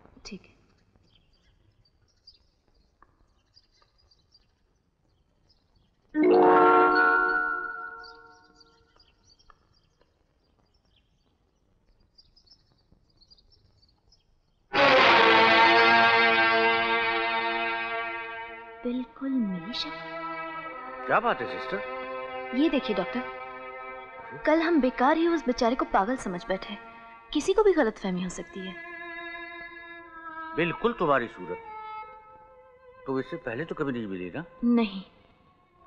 लेकिन ज़रूर उसकी ज़िंदगी में मेरी ही शक्ल की कोई लड़की होगी। पर वो गया कहाँ? क्या बताऊँ सुपरिटेंडेंट साहब? अपनी चंदा को ढूंढता फिरता हूँ। ना जाने ठाकुर ने उसे कहाँ गायब कर दिया है। जब से चंद्रमुखी लापता है साहब दीवानों की तरह इधर उधर भटकते रहते हैं साहब। फ़िक्र मत कीजिए हम पूरी इंक्वायरी करेंगे। आप बिल्कुल परेशान ना हो मिस्टर विनय। परेशान कैसे ना हो सुपरिंटेंडेंट साहब? यहाँ के तमाम अफसरों को ठाकुर बलबीर सिंह ने खरीद रखा है। मेरी तो कोई बात सुनता ही नहीं है। सर सर मैंने सुना आप इंसाफ का साथ देते हैं। अब तो सिर्फ़ आप ही का आसरा है sir. Don't worry don't worry. मैं खुद इस मामले में तहकीकात करूँगा ठीक? बिरजू जी। अपने साहब को क्वार्टर में ले जाओ और इनकी देखभाल करो। इन्हें आराम की सख्त ज़रूरत है। साहब जाओ। साहब। जी thank you very much SP साहब। सिस्टर यस सर सुनो। देखो वो कल रात को जो पेशेंट यहाँ से गायब हो गया था वो राजगढ़ फॉरेस्ट ऑफ़िस में है। तुम ऐसा करो वहाँ चली जाओ। और उसकी कंडीशन के बारे में रिपोर्ट देती रहो ओके राइट सर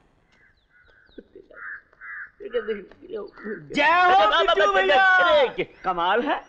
थाने से निकले थे सुबह और अब शाम को वापस आ रहे हो। गुरु क्या चक्कर है? फुमन तू घन चक्कर है। मुझे तंग मत कर मुझे चक्कर आ रहा है। फिर तो ज़रूर कोई चक्कर है। चक्कर ये है कि बाबूजी पागल हो गए हैं। मुखिया के घर में चंदा का इंतज़ार करते हैं। कहते हैं वो उनसे मिलने आती है उनसे बातें करती है। अरे तू ही बता अरे जो मर गई हो वो लौट कर आ सकती है? आ सकती है। क्या? मेरा मतलब है उसका भूत आता होगा। भूत? हाँ। अबे भूतनी के हट भूत भूत कुछ नहीं होता है। मैं सच कहता हूँ बिरजू भैया मेरी माँ कहती थी पीपल के पेड़ पर भूत होता है। तू कभी पीपल के पेड़ पर चढ़ा था हाँ कई बार चढ़ा हूँ तो तेरी माँ सही कहती थी तुझको देखा होगा अबे नहीं होता है अरे होता है हट ये सुनिए ये जो जो होता है होता है अरे होता है होता है क्या होता है होता है होता है होता है सुनिए तो। होता है, होता है आईने में हट। मेरी बात तो सुनो। मुझे माफ़ कर दो मेरा कोई कसूर नहीं है सब फुम्मन की शरारत है मैं तो भूत से बहुत डरता हूँ बहुत डरता हूँ भूत से मुझे माफ़ कर दो चंदा मैं चंदा नहीं आशा।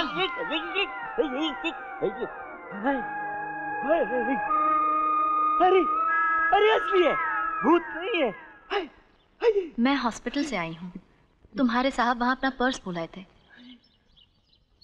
वही नाक नक्शा वही चेहरा वही आँखें। अब समझा बाबूजी ने आपको देखा होगा और वो आपको चंदा समझ बैठे होंगे। हाँ हाँ। अच्छा ये तो बताओ। ये चंदा कौन है? क्या हुआ उसे? ये एक लंबी कहानी है। आप बैठिए, मैं आपको सुनाता हूँ। आइए।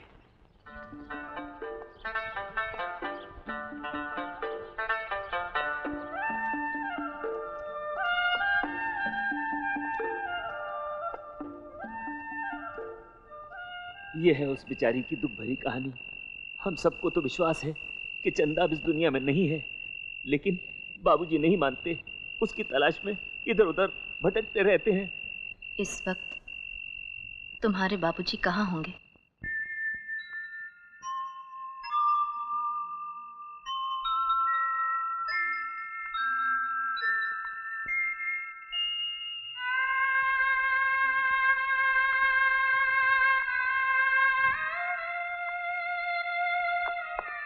आ गए बाबूजी हम कहाँ कहाँ ढूंढ रहे थे आपको?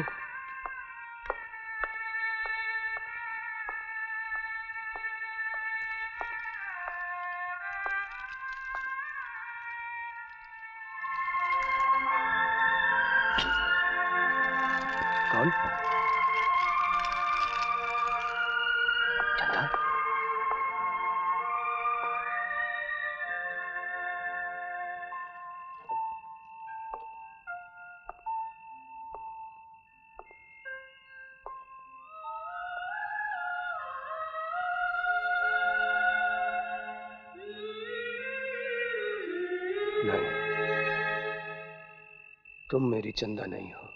मैं आशा हूँ। हॉस्पिटल में आप मुझसे मिल चुके हैं। ना जाने क्यों हर सूरत में मुझे अपनी चंदा नज़र आती है।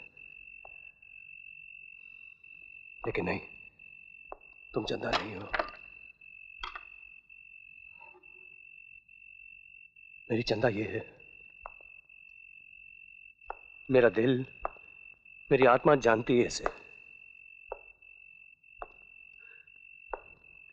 ना जाने कहाँ चली गई ये? मुझसे रूट कर। किसी के चले जाने से ज़िंदगी खत्म तो नहीं हो जाती विनय बाबू। चंदा थी मेरी ज़िंदगी। उसके बिना हर सांस एक बोझ है मुझ पर। तुम नहीं जानती किस तरह तड़प तड़प कर जीने की सजा काट रहा हूँ मैं।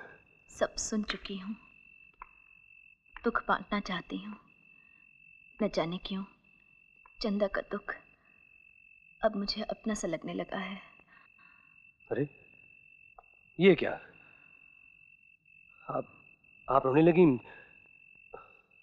मेरी चंदा के लिए आप आँखों में आँसू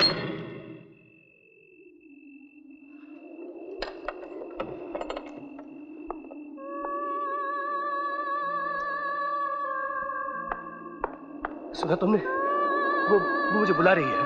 कौन? मेरी चंदा मुझे बुला रही है। विनय बाबू। साहब चंदा मुझे बुला रही है। कहाँ जा रहे विनय हैं? बाबू रात गए कहाँ जा रहे हैं? साहब रुक जाइए।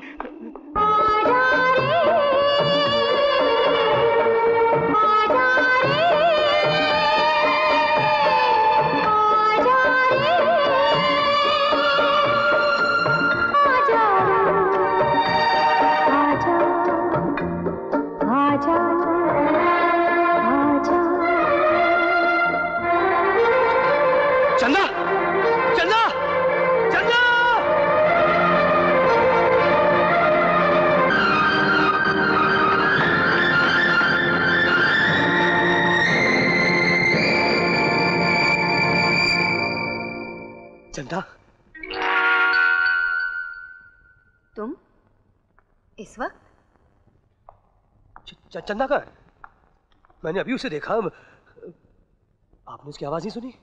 नहीं तो ये चंदा कौन है? चंद्रमुखी मेरी चंद्रमुखी। हम दोनों का ब्याह होने वाला था लेकिन लेकिन ठाकुर के आदमी उसे यहीं कहीं ले आए और ठाकुर के आदमी? जी। कब की बात है ये? पिछले हफ़्ते की। मैं दो दिन के लिए शहर गया। वो तब से गायब है। लेकिन मैं जानता हूँ वो यहीं है। इसी हवेली में जरा ठहरो।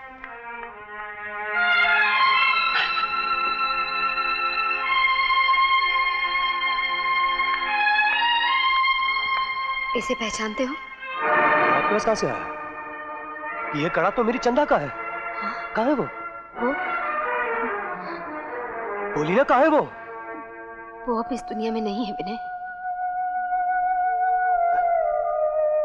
नहीं ऐसा नहीं हो सकता। वो मुझे छोड़कर नहीं जा सकती। उसने मुझसे वादा किया था। वो यहाँ आई थी विनय। मैंने उसे अपनी आँखों से देखा था। और ये भी देखा था। कि ठाकुर की हवस का शिकार होने से बचने के लिए उसने अपनी जान दे दी। चंदा अब इस दुनिया में नहीं है विनय। ठाकुर ने उसे मार डाला। मार डाला? मेरी चंदा को? कहाँ जा रहे हो? मैं उस ठाकुर को ज़िंदा नहीं छोड़ूँगा। मैं अपनी चंदा की मौत का इंतकाम लूँगा हट जाइए मेरे रास्ते से। पागल मत बनो विनय। खुद अपनी जान गंवा बैठोगे। ठाकुर के पास बहुत ताकत है। उसके पास हथियार भी है और हत्यारे भी। तुम अकेले उसका कुछ नहीं बिगाड़ सकते। तो फिर मैं क्या करूँ? मैं, मैं किसके पास जाऊँ? आप साथ देंगे मेरा? आप भी तो ठाकुर के जुल्मों का शिकार हैं। बोलिए आप मेरे साथ चलेंगे? कहा? पुलिस को बयान देने। बेकार होगा। यहाँ की पुलिस ठाकुर की मुट्ठी में है। मगर एसपी साहब ऐसे नहीं है। आजकल वो यहाँ आए हुए हैं। देखिए सिर्फ़ आप ही एक चश्मदीद गवाह इस कत्ल की। अगर आप एसपी साहब को सब कुछ बता देंगी तो मुझे यकीन है कि वो ठाकुर को नहीं छोड़ेंगे। प्लीज़ आप अभी मेरे साथ चलिए। अभी? हाँ। इतनी रात गए? देखिए सुबह अगर एसपी साहब लौट गए तो हमारी आखिरी उम्मीद भी टूट जाएगी। निशा जी मैं आपके सामने हाथ जोड़ कर कहता हूँ आप मेरे साथ चलिए प्लीज़। ठीक है।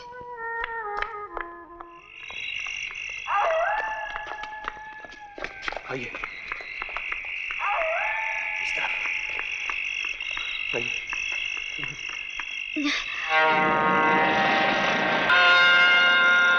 इतनी रात गए मालिक के दुश्मन के साथ कहा भाग रही हो मालकिन? पुलिस थाने? हट जाओ रास्ते से। हटने नहीं हटाने आया हूँ। और मालकिन आपसे तो ठाकुर साहब निपट लेंगे। लेकिन इससे मुझे अपना पुराना हिसाब चुकाना है।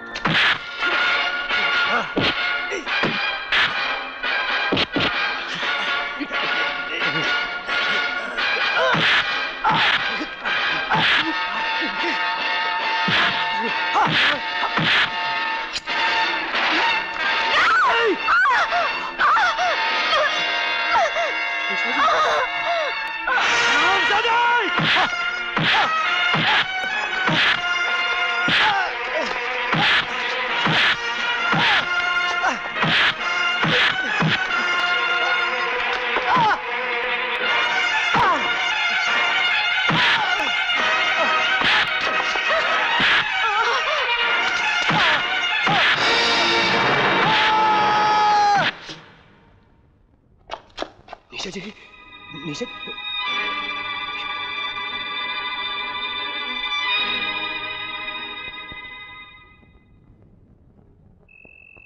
पुलिस को सबूत चाहिए चंदा। मैं सबूत कहाँ से लाऊं? कहाँ से लाऊं चंदा? लेकिन मैं तेरी मौत का बदला ज़रूर लूँगा। सबूत मिले या ना मिले, मैं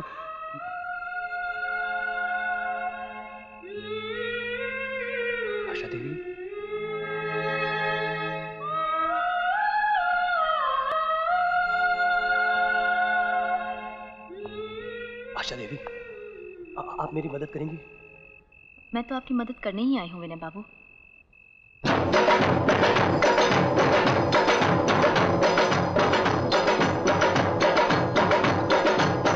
चंदा? अरे चंदा? चंदा? हाँ हाँ चंदा। वो देख चंदा। अरे चंदा तू? अरे चंदा? चंदा?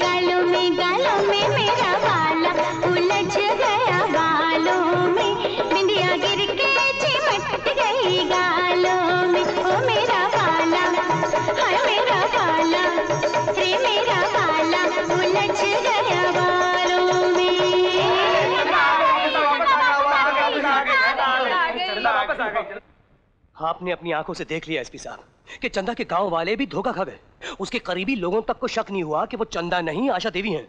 बस अब एक बार सिर्फ़ एक बार ठाकुर इन्हें चंद्रमुखी के लिबास में देख ले मुझे यकीन है उसके पैरों तले ज़मीन खिसक जाएगी होश उड़ जाएँगे उसके। और फिर घबराहट में आकर अपने गुनाहों का सबूत वो खुद आपके हवाले कर देगा एसपी साहब। अब सिर्फ़ आपकी मदद की ज़रूरत है। प्लीज़ सर सिर्फ़ इतनी दरखास्त है आपसे। Please. All right Mister Vinay मैं आपके साथ हूँ। Thank you sir thank you very much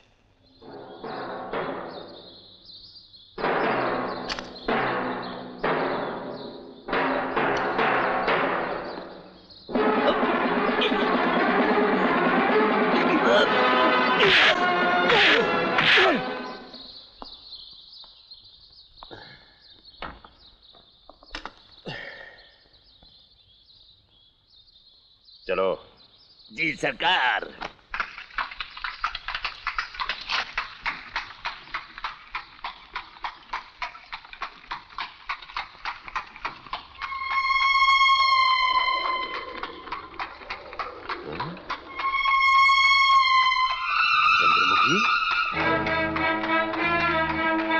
watchman गाड़ी रोको जी।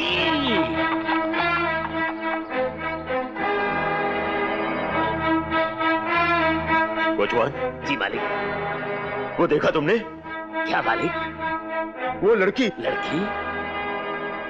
कहा मालिक? वहाँ तो कोई भी नहीं है। हाँ?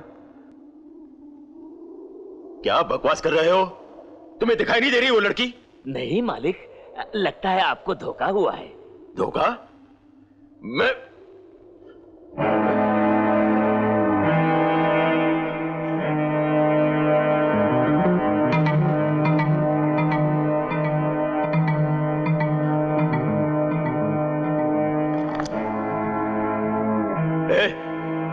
गाड़ी वापस हवेली की तरफ़ ले चलो। जी मालिक।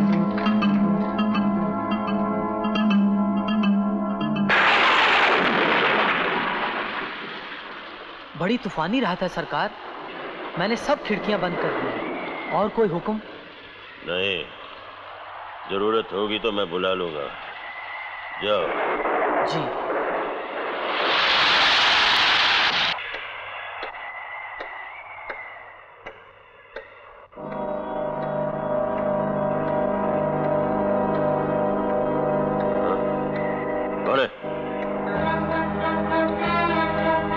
पहचाना नहीं मुझे ठाकुर।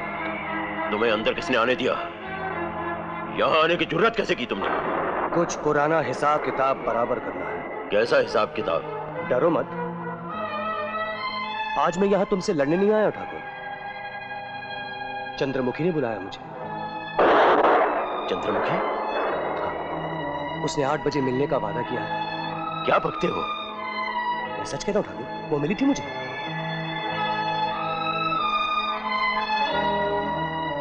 शायद सपने में? या या रूह थी उसकी? रूह? आप रूह को नहीं मानते? लेकिन मैं मानता हूँ रूह को ठाकुर। ये भयानक तूफ़ान। ये शोर सुन रहे हो? रूह में बहुत ताकत होती। है क्या बकवास कर रहे हो? निकल जाओ यहाँ से। प्रीतम सिंह! दुर्जन! बेकार है चिल्लाना। आज तुम्हारी मदद के लिए कोई नहीं आएगा। आज तो फैसला हम तीनों को ही करना पड़ेगा। तीन? कौन तीन? तुम मैं और चंद्रमुखी।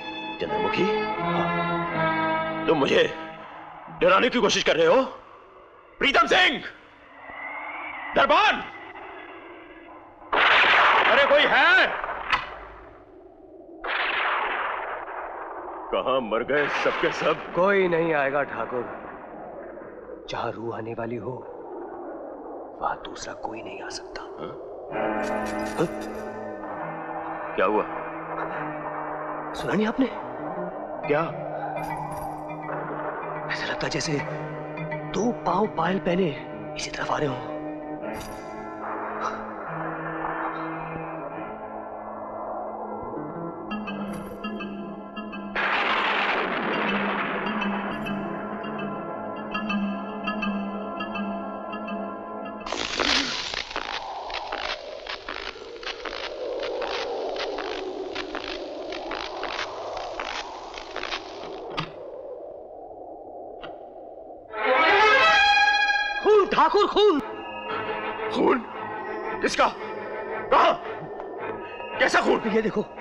तुम्हारी तस्वीर पर अपने आप के खून के धब्बे उभर आए हैं। ये ये ज़रूर तुम्हारी हरकत है। नहीं ठाकुर नहीं। इसमें यकीनन किसी और का हाथ है किसी तीसरे का हाथ। तीसरे का हाथ? हाँ ठाकुर। लेकिन यहाँ मेरे और तुम्हारे सिवा और है कौन? चंद्रमुखी। हाँ ठाकुर चंद्रमुखी। मैं उसे महसूस कर रहा हूँ। सुनी वो आवाज़। आवाज़? कैसी आवाज़? मुझे तो मुझे तो कोई आवाज़ सुनाई नहीं दे रही है। अजीब रात है ये ठाकुर। ऐसा लगता है जैसे यहाँ कोई आत्मा भटक रही है जिसकी ज़िंदगी का सपना अधूरा रह गया है और वो यहाँ आने की कोशिश कर रही है। देख रहे हो वो थरथराते साहे? सुनी उसकी वो लंबी लंबी सिस्कियों की आवाज़। खामोश!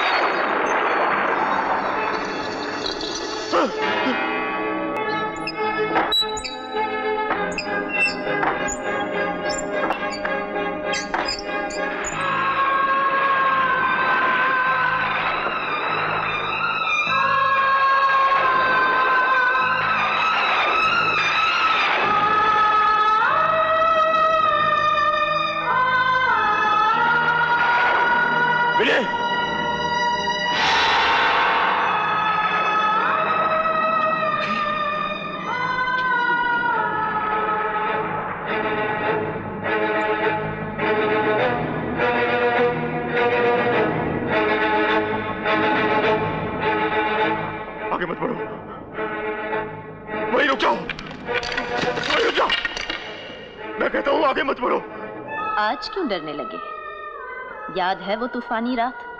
जब भीम सिंह मुझे उठाकर इसी हवेली में लाया था। उसके बाद क्या हुआ? बोलो उसके बाद क्या हुआ? चुप क्यों हो? आगे मत बढ़ना। मैं बताता हूँ। मैं बताता हूँ। मैं दरवाज़ा खोलकर तुम्हारी तरफ़ बढ़ा था। तुम्हें काबू में कर लेना चाहा? तुम किसी तरह से बचकर भाग निकली।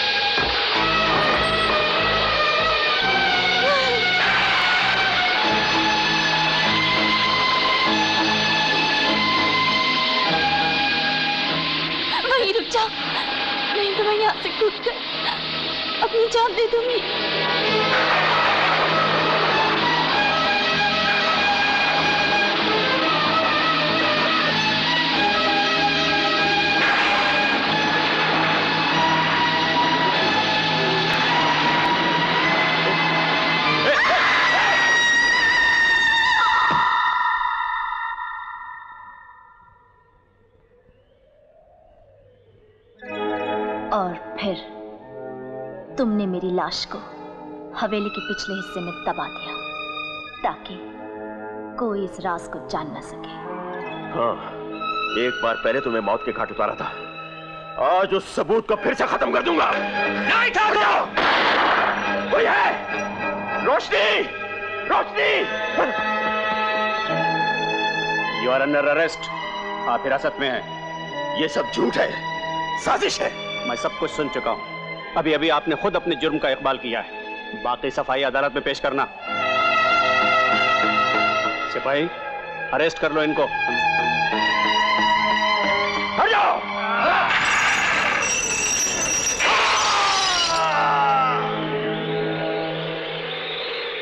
ये तो मर गया। इंस्पेक्टर, सिपाही, उधर से तुम देखो संभल इस तरह देखो मैं आपका बहुत एहसानमंद हूँ, आशा जी। आपकी वजह से मैंने अपनी चंदा के खून का बदला ले लिया। लेकिन आपको ये सब बातें कैसे मालूम हुई जो मैं खुद नहीं जानता था? इस मनहूस जगह पे चंदा की लाश को कहाँ दबाया गया, ये आपको कैसे मालूम हुआ? चंदा का अंत ठाकुर के अलावा और कोई नहीं जानता था। ये आपने कैसे जान लिया? आपके चेहरे पे ये अजीब मुस्कुराहट। आप चुप क्यों हैं? मेरी बात का जवाब दीजिए। विनय बाबू विनय बाबू, माफ़ कीजिएगा विनय बाबू। रास्ते में तूफ़ान के कारण मुझे आने में जरा देर हो गई। अभी अभी पुलिस वाले किसे उठा कर ले गए?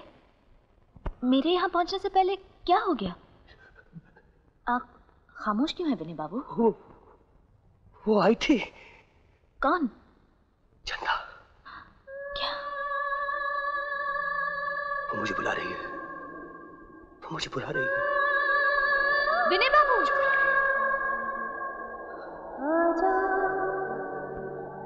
चंदा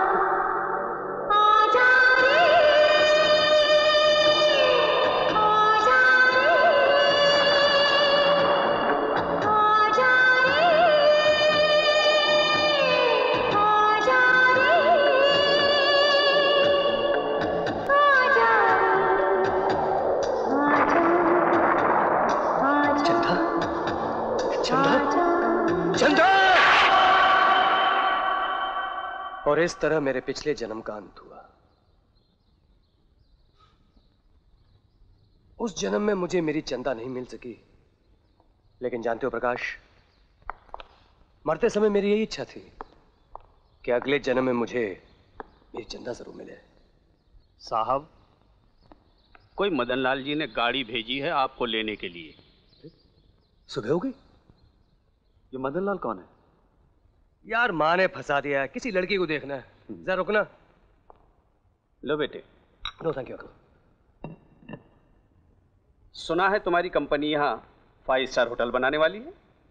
जी अंकल कोशिश तो है यहाँ की जो पुरानी हवेली है उसे हम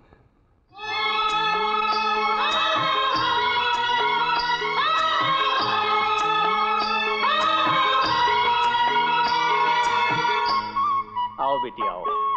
सुनिए ये हमारी बेटी संध्या है।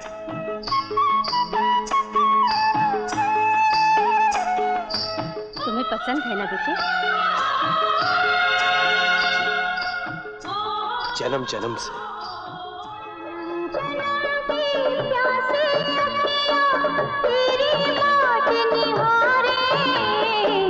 कितनी सावन बीती